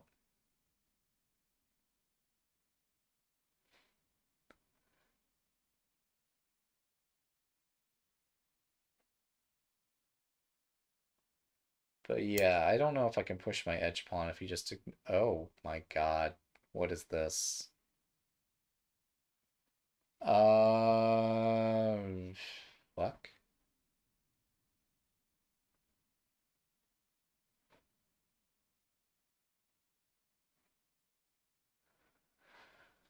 okay, well, this is one way to respond to things. Um... As if matters weren't already complicated. Um, hmm.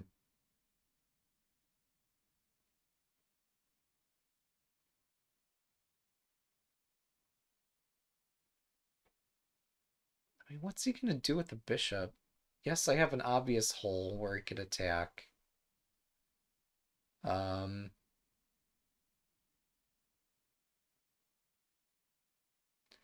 I guess I could exchange bishops and then move my rook back to the eighth file, which would kind of force him to put a piece on 7-7.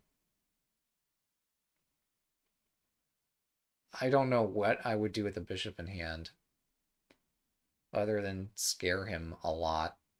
Um,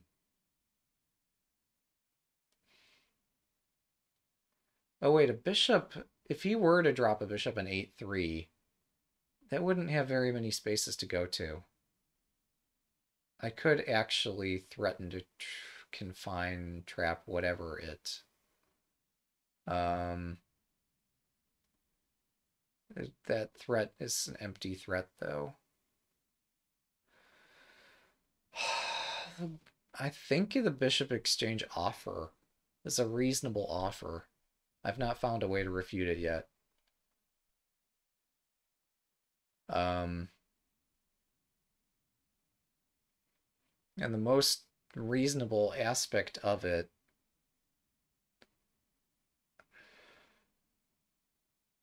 is that it slows down my edge attack. Um,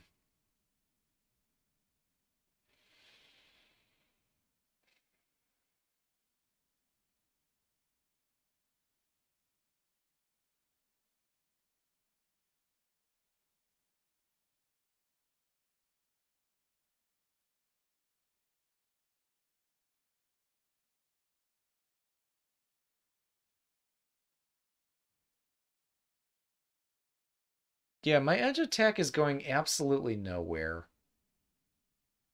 So I'm actually quite glad to see all these ideas in this game where it doesn't count for tournament standing. Um, like if I were to see this and be surprised by it in the tourney to master game, that would be a bit disappointing. Um, his upright gets a little weaker if I could just find a way in. But it's not so easy.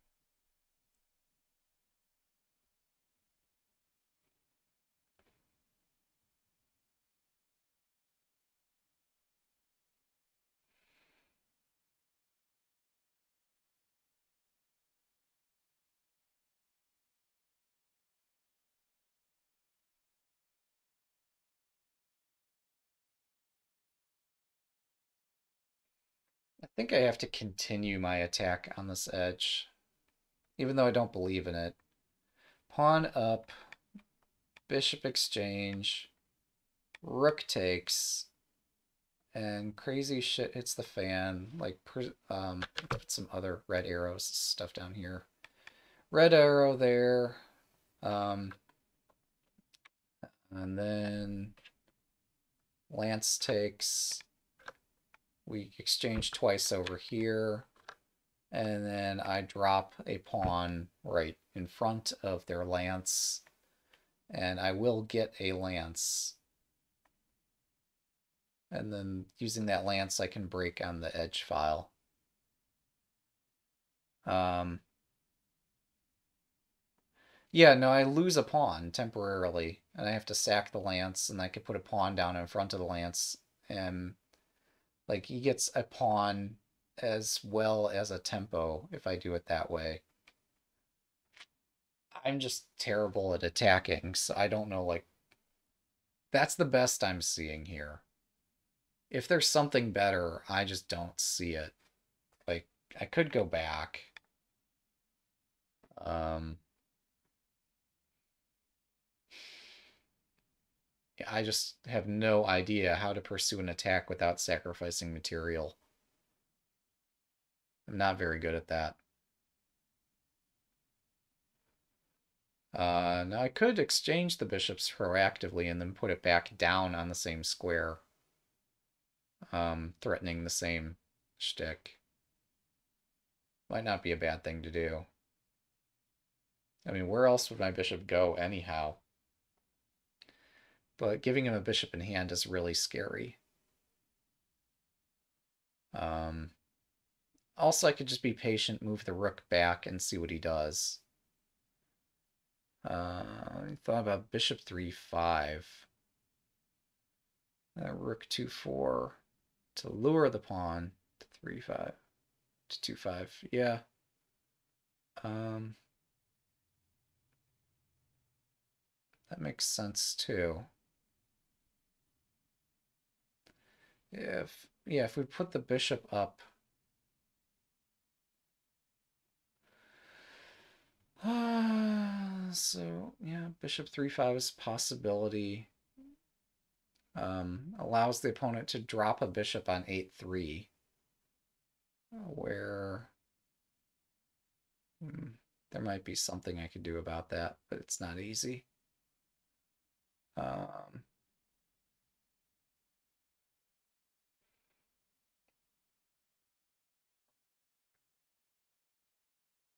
Also, if I move my rook away, if bishop takes, pawn takes, I've opened up another square for him to drop a bishop on.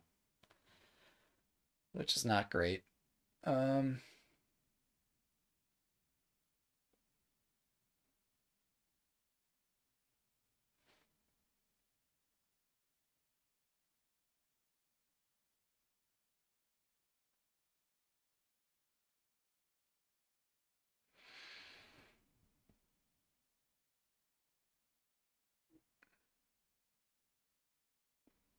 Yeah, a rook exchange would be delightful here. So you're thinking bishop 3-5, rook 2-4 to lure the pawn up and be... Yeah, if a rook exchange does happen, that would be something to be grateful for. I honestly don't see how to force a rook exchange to occur. Um, also, if he puts the bishop back here, it might not escape. So maybe I'm afraid of nothing there. Um, no, wait. Yeah, pawn 1-5 looks interesting and complicated and interesting, so we're going to play the interesting move here that loses a pawn. Because I've looked at alternatives and I'm not seeing squat. And our opponent is in severe time pressure. And yeah, we could go into the trade with rook 8-4. Yeah, so if I were to play rook 8-4, well, yeah, I don't know. I needed to spend more time thinking. I got anxious. I don't have enough time. Six minutes is not enough time for me to figure out if rook 8-4 is a good move. Six hours, maybe. Six minutes, no. Um, so we're going to settle on playing this and see where it ends up. Um, also, mm, technically possible might be if bishop takes bishop, pawn takes pawn, and then we push the pawn and somehow break through giving up an entire bishop, which seems retarded. Yeah, that's not worth doing. Never mind. Yeah, you're right, there's a 60 second increment, but I'm also factoring into account um, just how clock time works in simuls. So this is the right timing for me to make a move, to make as big a dent as possible into my opponent's clock, but also to break his attention as many times as possible. This is the right timing for me to play, even if it's not the right move. Um,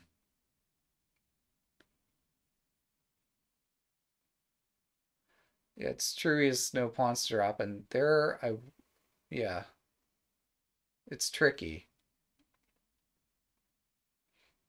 But he would get a bishop, and it would not be difficult for him to obtain a pawn. So, as big a fan I am of um, that crazy pawn takes pawn idea, I think this is the more sensible way about it.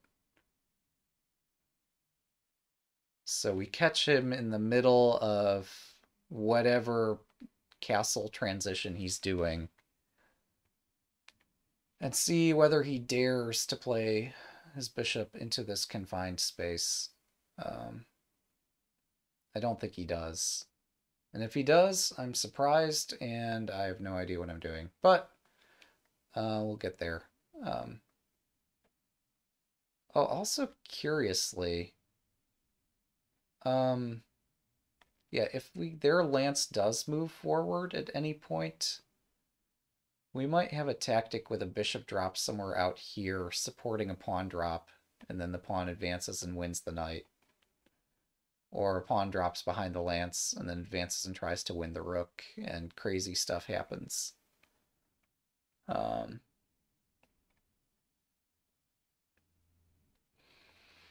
either way, regardless, this felt like the interesting thing to look at. This, if I were on the defending side and my opponent played the duck formation strategy, this would be the thing I'd be afraid of. Um, whether it works or not. Uh, so yeah, we're going to stay true to the plan, even though the plan looks risky. Looks extremely risky. Um,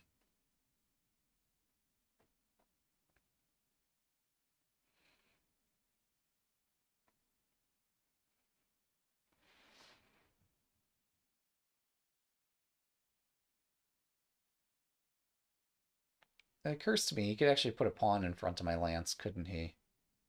My entire strategy is based on breaking the file, which I fail to do if he puts a pawn like anywhere in front. Such forward thinking on my part. Um, I mean, he's always got this possibility of putting the pawn in front, so I'm going to move the pawn around the board so I don't mess this up. Um, but yeah, there's my target. So yeah, he's up a pawn at this point, which really means he's up. Wait, what?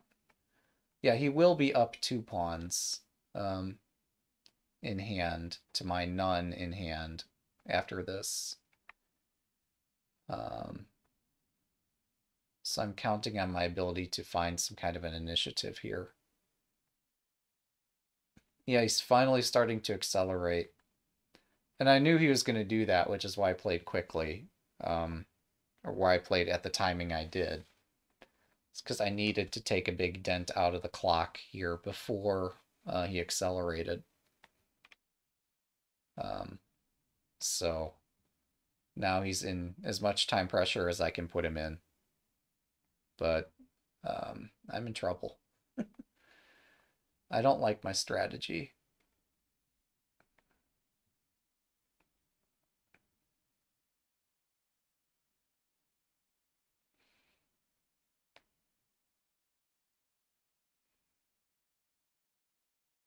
Now, what I keep saying is that eventually he's just going to put a pawn down on the first file.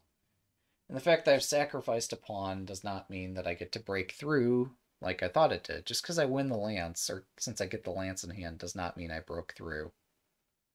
I'm particularly bad at figuring out these pawn exchange situations or these edge file attack situations. I just, I don't get it ever. Um, all right, do we sack the rook to get the lance? No. Wouldn't that be special? Uh,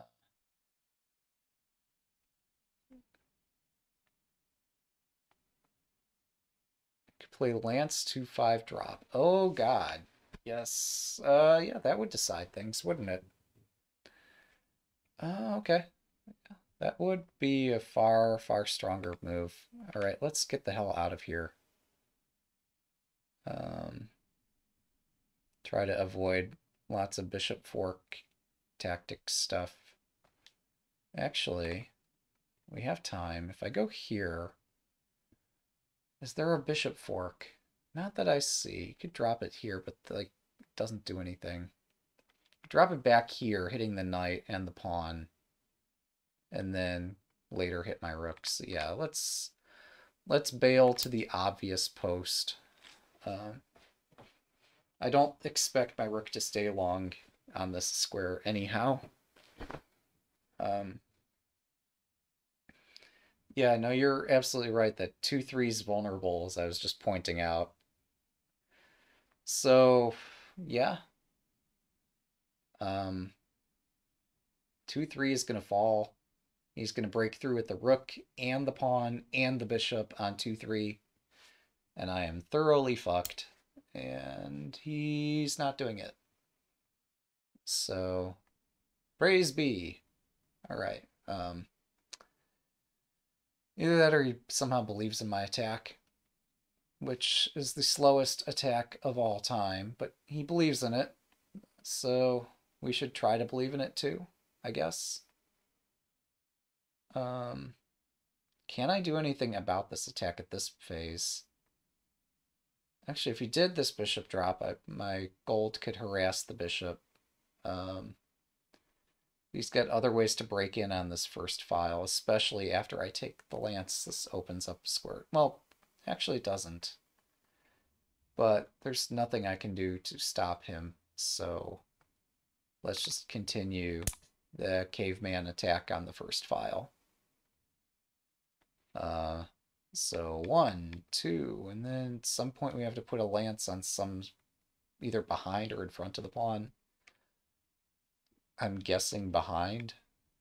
Oh, I, I can't draw an arrow, but just imagine an arrow with the lance supporting this pawn. So three moves for me to form an attack that he can refute in a single pawn drop. Hmm. And this is all I've achieved is, well, I should have lost a pawn, and I did not lose a pawn, and we are somewhere now that we were not earlier. Um, material balance is restored. He has a pawn in hand at least for now. Um, I can't trick him into making things easy for me. I could put my rook behind the pawn because there's nothing he can use to hit my rook. He could sacrifice the lance for the pawn. Uh, he could use a bishop to attack the pawn, I guess.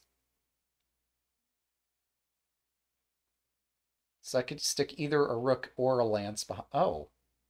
Oh, hang on. I have one threat. I have two threats. Hmm. Interesting. Hmm. How long have I had these both of these threats? Okay, so I wanted the lance, and now that I have a lance in hand, yeah. Okay.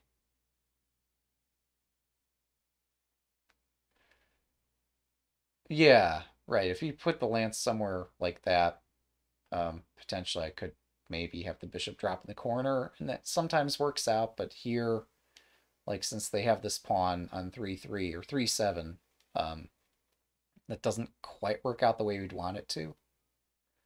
So if I put the lance back down, they put a pawn back down on the first file, we're back where we started, no? Um, which might not be a terrible thing. Especially since 2-3 is vulnerable. Um, not ex okay, well... So I'm thinking my best chance lies on striking on the eighth file. I don't know that I want to give up this pawn just to start an attack on the eighth file. Because his attack, counterattack on the first and second files comes through quite swiftly. Um, I think I need to play Lance 1-1, as stupid as it looks. Um, okay, no, that's a fair point. Uh, my pawn is further advanced on the first file than it used to be. That is a meaningful difference.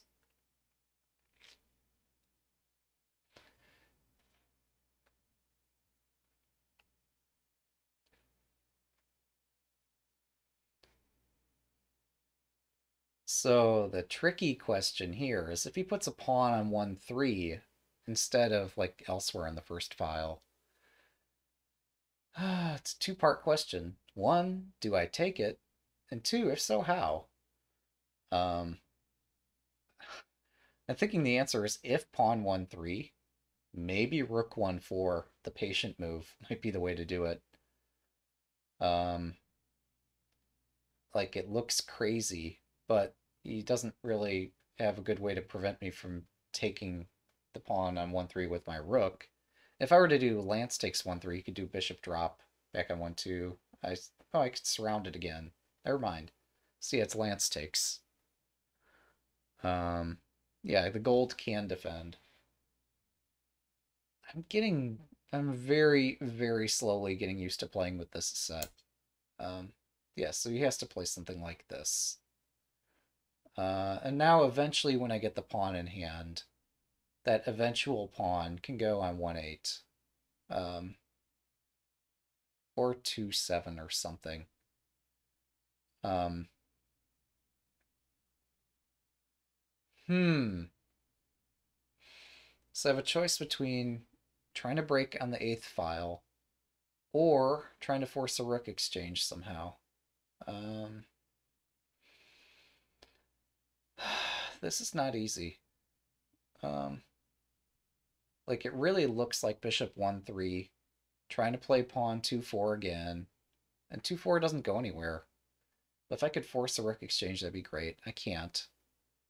Um, if I could break through on the eighth file with my rook, that'd be great. I almost can. I can get a pawn in hand. And then eventually he gets the pawn pushed to 2-4. I take rook takes. I don't have a follow-up. Uh, it's tragic. Um, uh,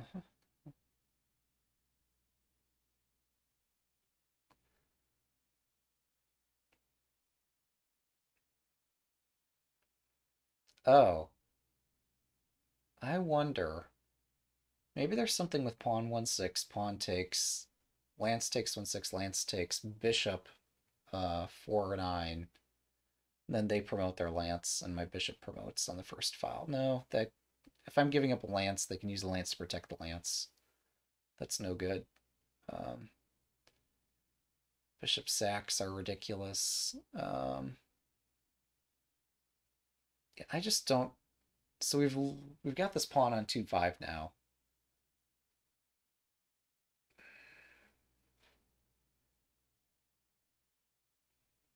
And I don't see how to force a rook exchange.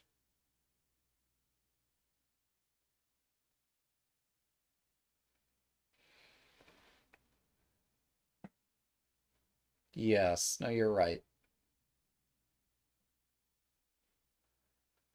I don't see how to force a rook exchange. So yeah, maybe trying to exchange pawns on the eighth file. Um, opening possibilities of tactics. Having a pawn in hand later could be useful. If I do pawn 8-6, they do bishop drop, forking my rook and pawn. I'd sack the rook just to take the pawn and take the gold. Um, they take my rook. This is not great. So Pushing the pawn's a bit anxious or eager. Where the fuck is my bishop gonna go? Um...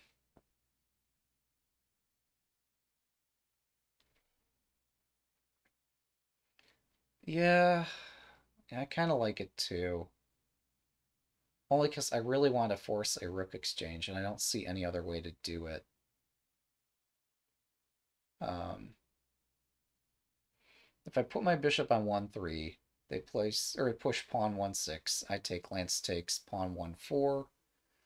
And then I can place, or push pawn 2-4. Um, actually, that's quite good. Yeah.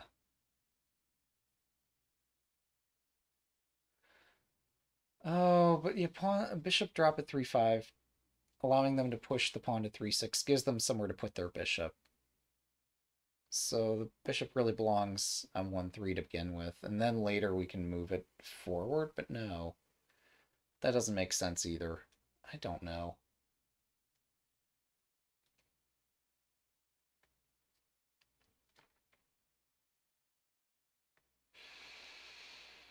Hmm.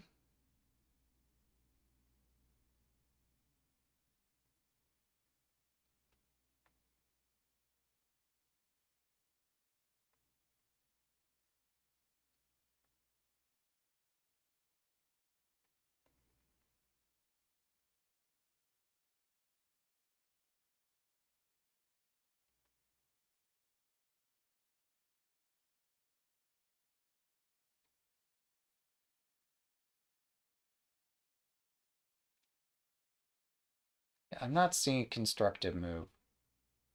This is not good.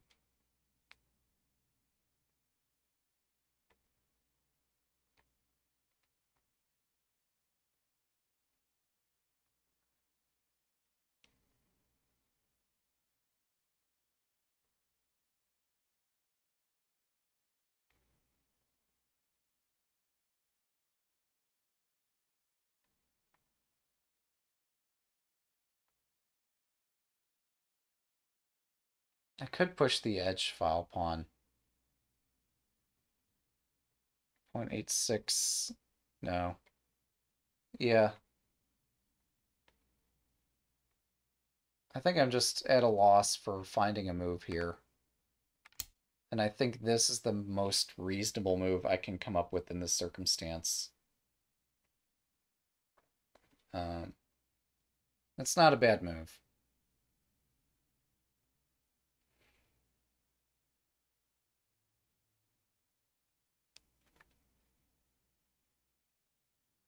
Yeah, he pushes his own rook pawn. I've not really lost or gained anything here. Um, but we could pursue the same idea on this edge that we pursued on the left edge, but actually they don't have a rook to oppose us over here. So I push pawn takes, lance takes, lance takes, pawn drop, and it's their move. Um, so that's possible. Again, sacking a pawn just to try to break in.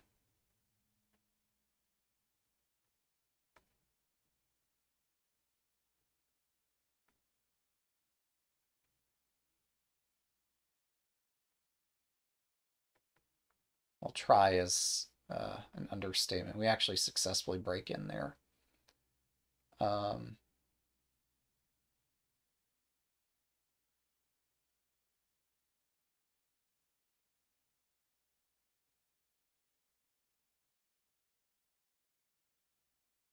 Oh. Um, I really don't like the idea of blocking my rook in any way. what do I do? Um,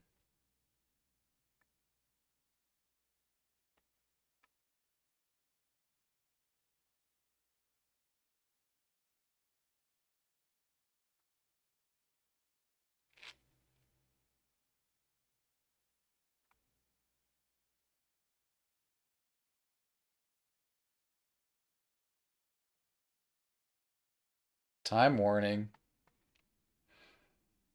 Hmm.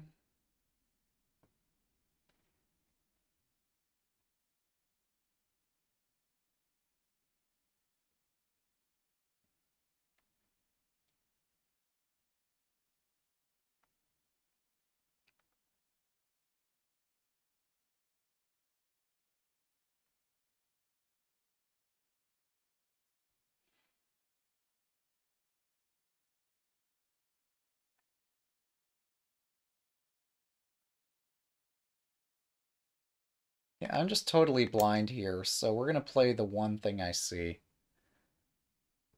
Um, which is me sacrificing a pawn to try to break in.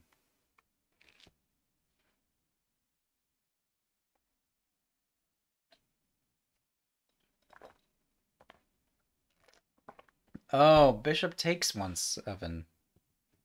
I did not even seriously consider this. It did merit serious consideration because of the rook 1-4 move at the end.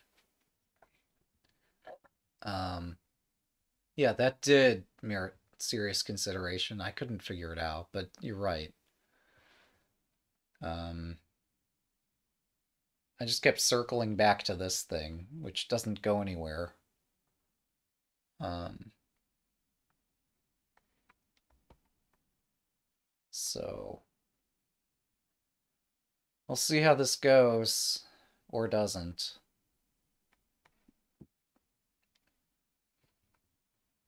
Yeah, it's interesting.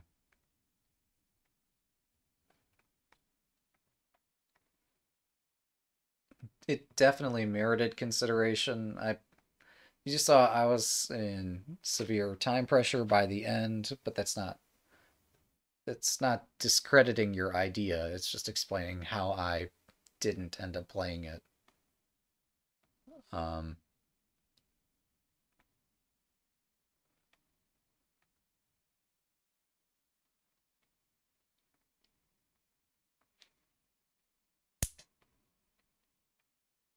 all right, we started this idea, so let's bring it to fruition.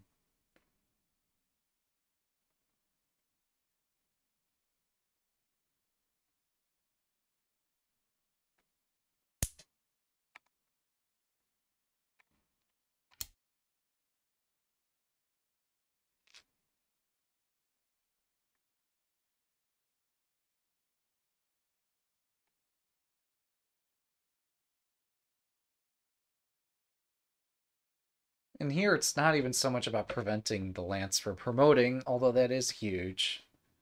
Um, also important here uh, is that I could actually use a lance. I'm not sure where, but someday it will prove useful. So let's get it before we try to like promote my bishop in the corner somehow. And even if my bishop does promote in the corner safely, which it doesn't seem to.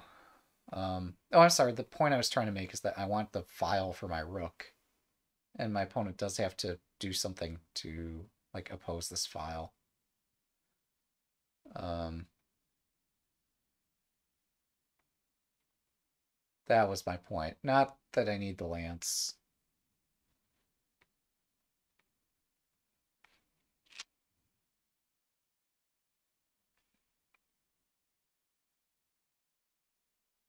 Yeah, and I was figuring they'll do Lance 9-9, Pawn takes, Lance takes. And maybe I do Lance here and we do a repetition draw. Just, I am out of ideas. They didn't do the expected move. This greatly surprises me because this rook promotion threat seems very large and I don't see how they stop it anymore. Um, now, perhaps they're arguing that, like, their threats against my king are equally large. Um, I don't believe that. But perhaps that's the argument.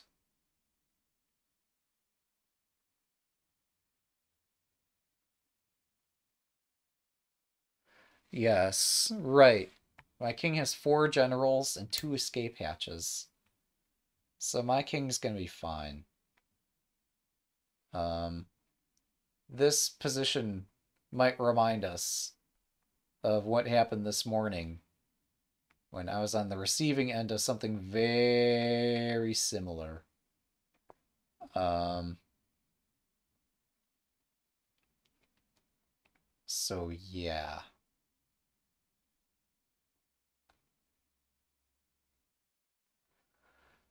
Alright, so they have a lance, two pawns, and a bishop. Um, now the target here should be if I promote the rook, I want to strike across the rank directly at the king. The back rank is tempting too, but they have all the back rank squares covered. Um, so the next target becomes the gold general standing right next to the king. Um,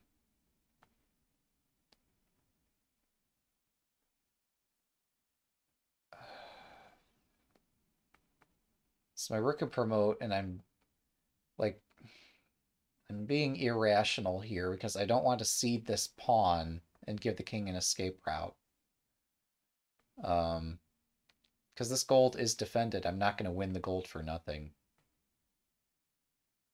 Um, so I'm tempted to just stick a piece in front of my rook and promote that instead of promoting the rook. But a promoted rook is a very powerful piece. Um, I'm just confused because, like, yes, I get some amazing attacks, but I don't see uh, what's so forcing about my... Okay, yeah, this pawn in particular is a target. So my rook moves up, I drop a lance, I promote the lance, it takes the pawn, it takes the gold. Okay, there's a plan. It might not work, but it is a plan. It probably works. But in case it doesn't, um, we're still okay. Let's promote. So yeah, our next idea is uh, drop the lance and promote it, and then take here.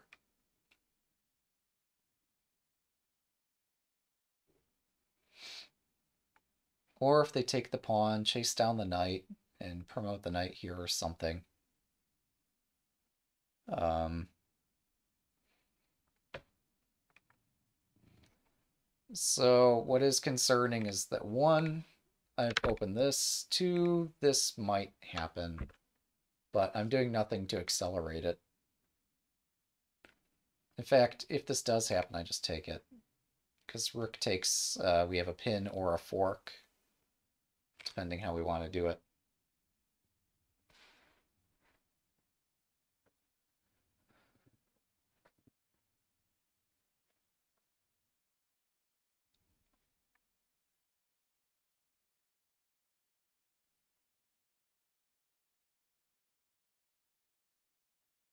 Yeah, this actually isn't a threat.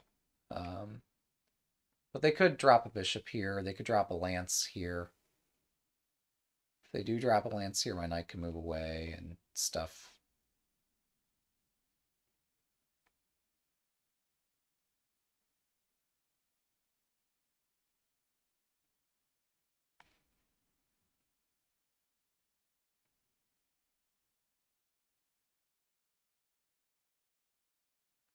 Well, if they do drop a lance and take the knight, gold takes is actually fine. Even though it slightly separates my generals for a turn. There's no immediate way to exploit that. So yeah, this attack down the right edge file looks very strong. Um, also, I'm trying to resolve, like, if I do a bishop drop over here and then sack, and then, like, could I even use my gold to attack the silver? Silver just runs away. No. So it's not the easiest target to snipe at. Okay, the king is running. King is on a special adventure. Um, hmm. Didn't see that. Probably I would see that if I were on the other, and the defending side of this position. Um,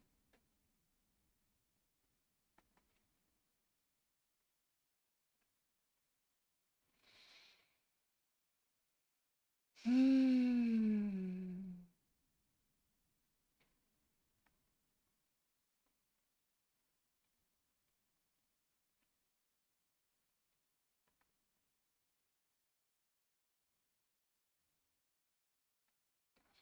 Man, it's so tempting just to defend the pawn, defend this bishop drop square. Um,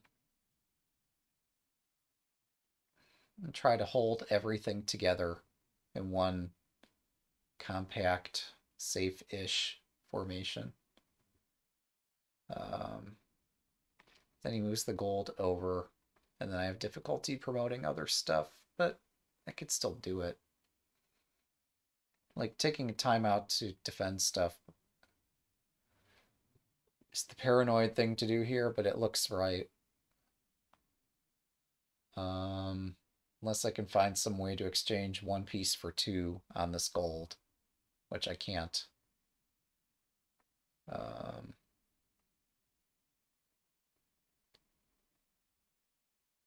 yeah. Oh, he's still got a lance, too.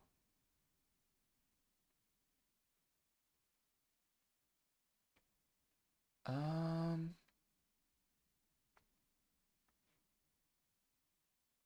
Yeah, there is actually another way I could defend against stuff. Well, it takes forever for this to break in, but um, it's possible.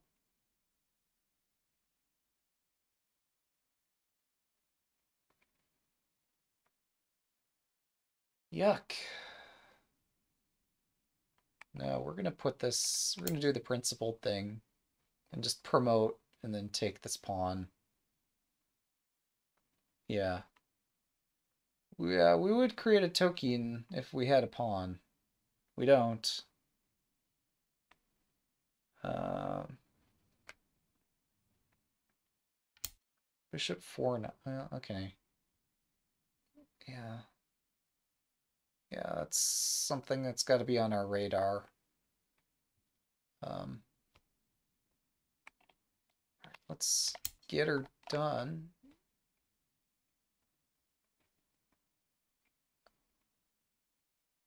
So we're going to get ourselves a pawn here. and maybe somehow force our way into this castle. I don't know.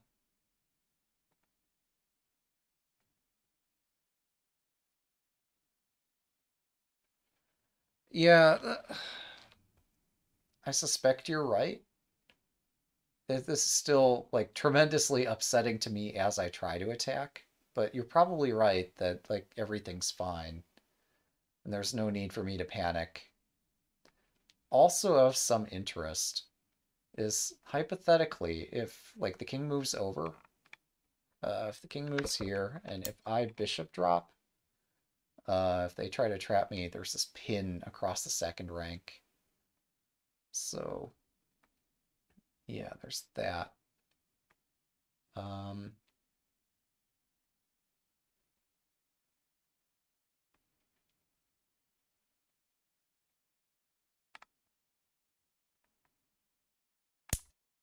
okay, we're just going to march toward the king.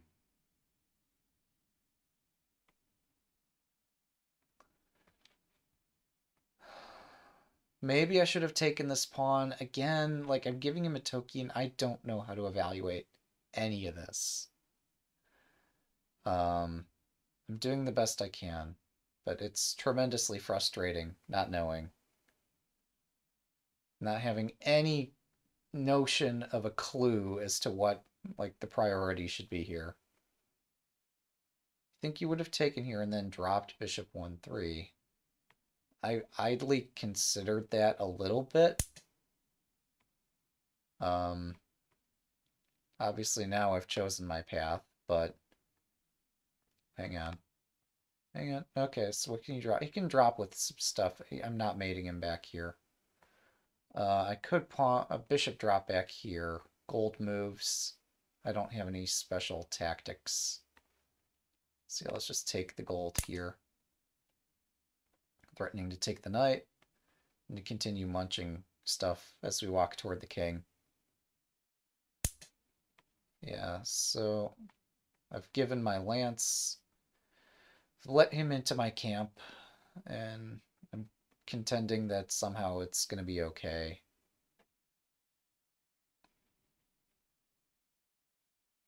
Um, got one bishop, one gold.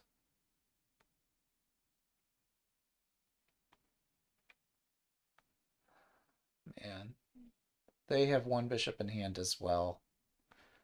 Bishop drop, they have to like move their rook out before I do something crazy. Because I'm threatening a gold drop to follow. Bishop drop, they move the gold back, I hit the rook. Yeah, bishop 4-9 still looks interesting. Um, the value of the pieces doesn't matter as much anymore as breaking into the castle. So maybe I should refocus. Um, pawn drop here. They, yeah, actually, if I let them advance any further down this file, things get scary. So if I bishop drop, they just push the pawn, uh, gold drop, and they take my gold, and stuff gets crazy. So I, I would prefer if I had time to go back in time to not have this happen. Um, too late now. Um, yeah, bishop 4-9 still looks interesting because like it prevents the rook promotion. And I could use a rook to help break this king open, but other pieces are more useful than a rook right now. Um, Bishop 4-9 also looks interesting because if the gold moves back, I can maybe sack it for the silver and keep harassing. Um, all right, holding down this cursor so I don't, yeah. Let's, let's see if this works or not. I'm curious.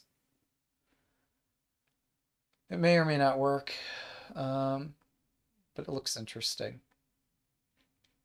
And if they do hit my gold, maybe it moves away and I let them promote the dragon and I just haul off and start attacking somehow here. I don't know. Um,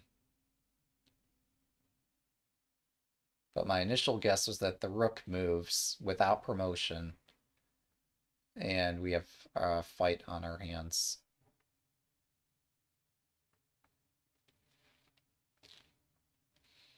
But also I could promote my bishop right next to the king. Although I don't have a way to follow it up, which is annoying. Or I could stack for this gold, and I guess king takes, I'm not sure. Yeah, dragon takes is also a threat here. So yeah, dragon takes and then bishop, or after I take here, they are going to move this, but then that's mate in one. Okay, never mind. Goodness. Yeah, I should stop reading our chat window right about now, because um, as much help as I've gotten throughout the game to try to make this an interesting game, um, I should probably try to figure the rest out on my own here.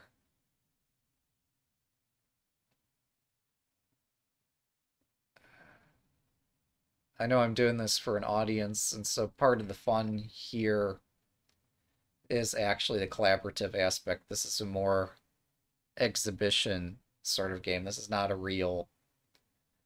Uh, I mean, we knew it wasn't a fair competition in the first place because he's playing so many opponents at once, but also, this is strictly an exhibition. If I win, that doesn't mean anything about our respective skills. If it lose, it means I suck, but we already knew that. Um, yeah. I apologize if it sounds like I'm censoring it. Like, obviously, for a game that's running on so long where there's nothing at stake, um, other than pride, um, that's a different situation than if it's some big tournament game.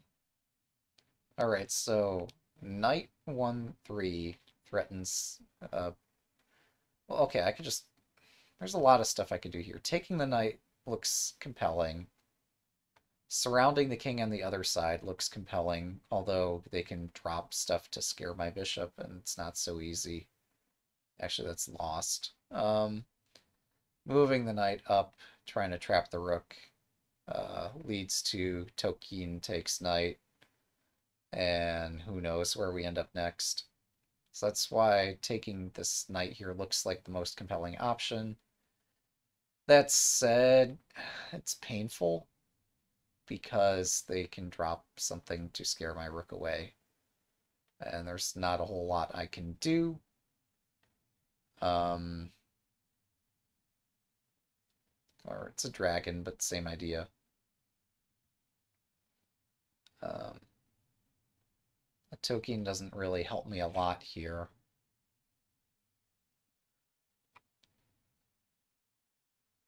Wait, if they scare my bishop, just, yeah, they don't have the right piece to trap my promoted bishop here.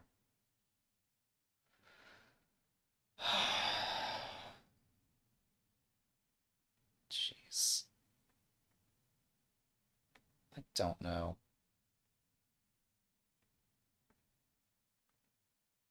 I mean, having the knight is better than not having the knight.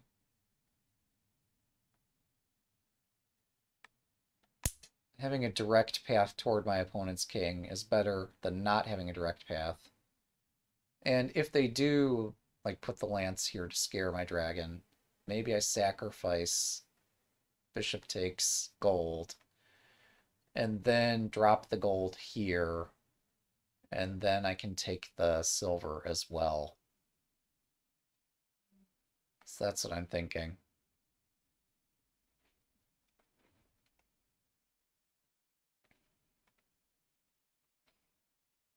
This has the downside that his king is escaping, and I'm agitated by that, but um, I can get over it. Okay. Um, this is completely ignoring my attack on his king. A bold, bold strategy. But it had to be done.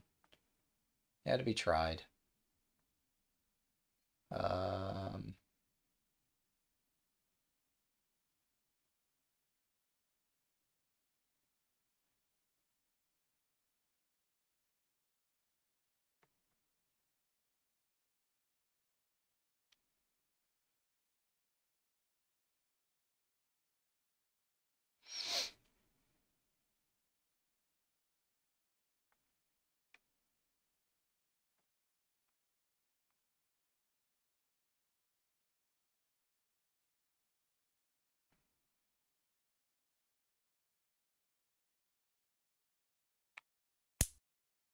Well, it's not what I envisioned myself playing here until about two seconds before I played it.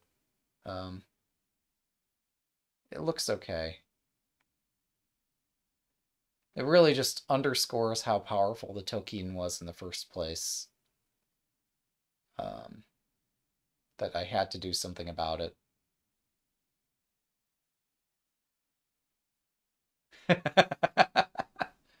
nice. Yeah, that I'm sure that helps, right? Um, so as long as I'm careful not to get mated in, but yeah, no, my gold needs to go back. Or need to put down another gold or something. Um, I really don't want to get mated here.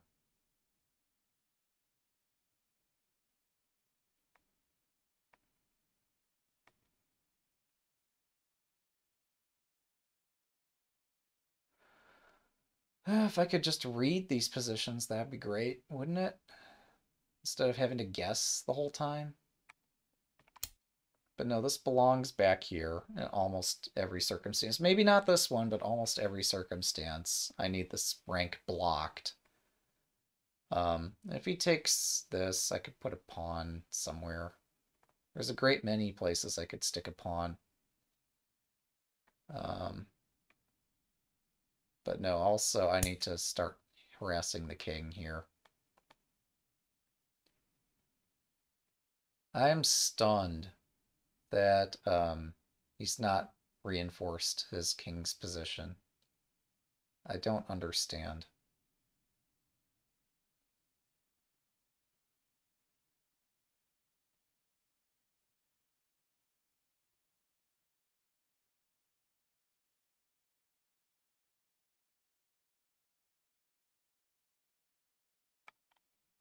Alright, here goes nothing. This was my plan. So next up is bishop takes gold. Um, followed by a myriad of captures. So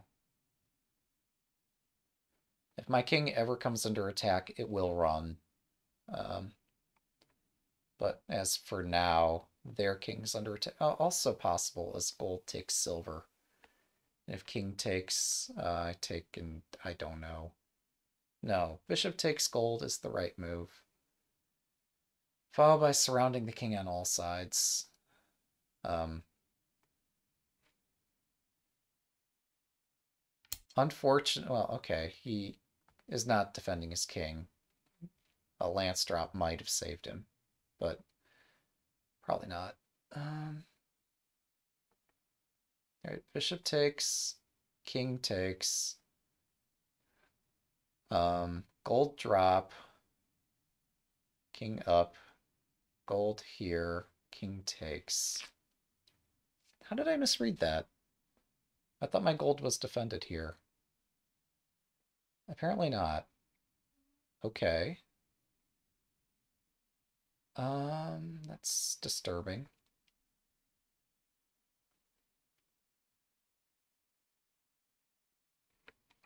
All right, Knight Drop. Maybe makes all this work. Knight Drop threatens Bishop takes gold. King takes gold drop. King can't go here anymore. Has to go back into the line of fire, and then I have mate.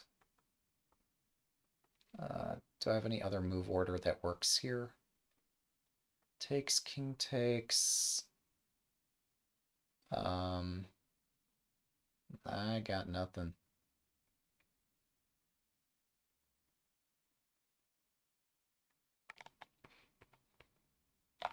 Unfortunately, it's gotta be this. That's disgusting because it's not check. This gives him an opportunity to defend.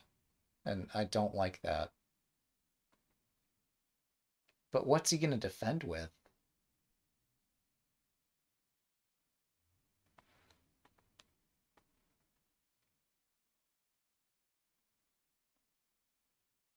Like, he's done a million tsume. I've done, like, five. He's reading this 10 moves ahead, and I'm not. Although, yeah, he is uh, down to three games.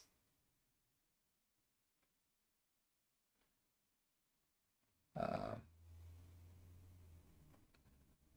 so, yeah, he's going to find this, and I have no idea what I'm going to do next. He's not finding it. Alright, he's focused on time management, and that spells the game. Unless I've missed something critical. But how in the world, 10 moves in a row, could I have missed something so critical? Bishop takes, king takes, gold drop. Um, king up, rook or dragon takes mate. There's really no variations here.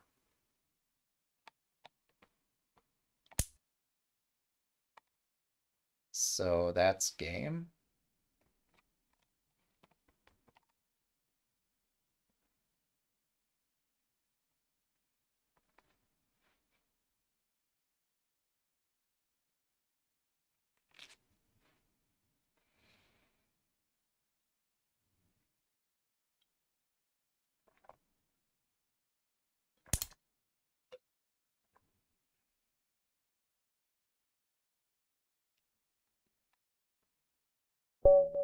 All right, good game. Well played.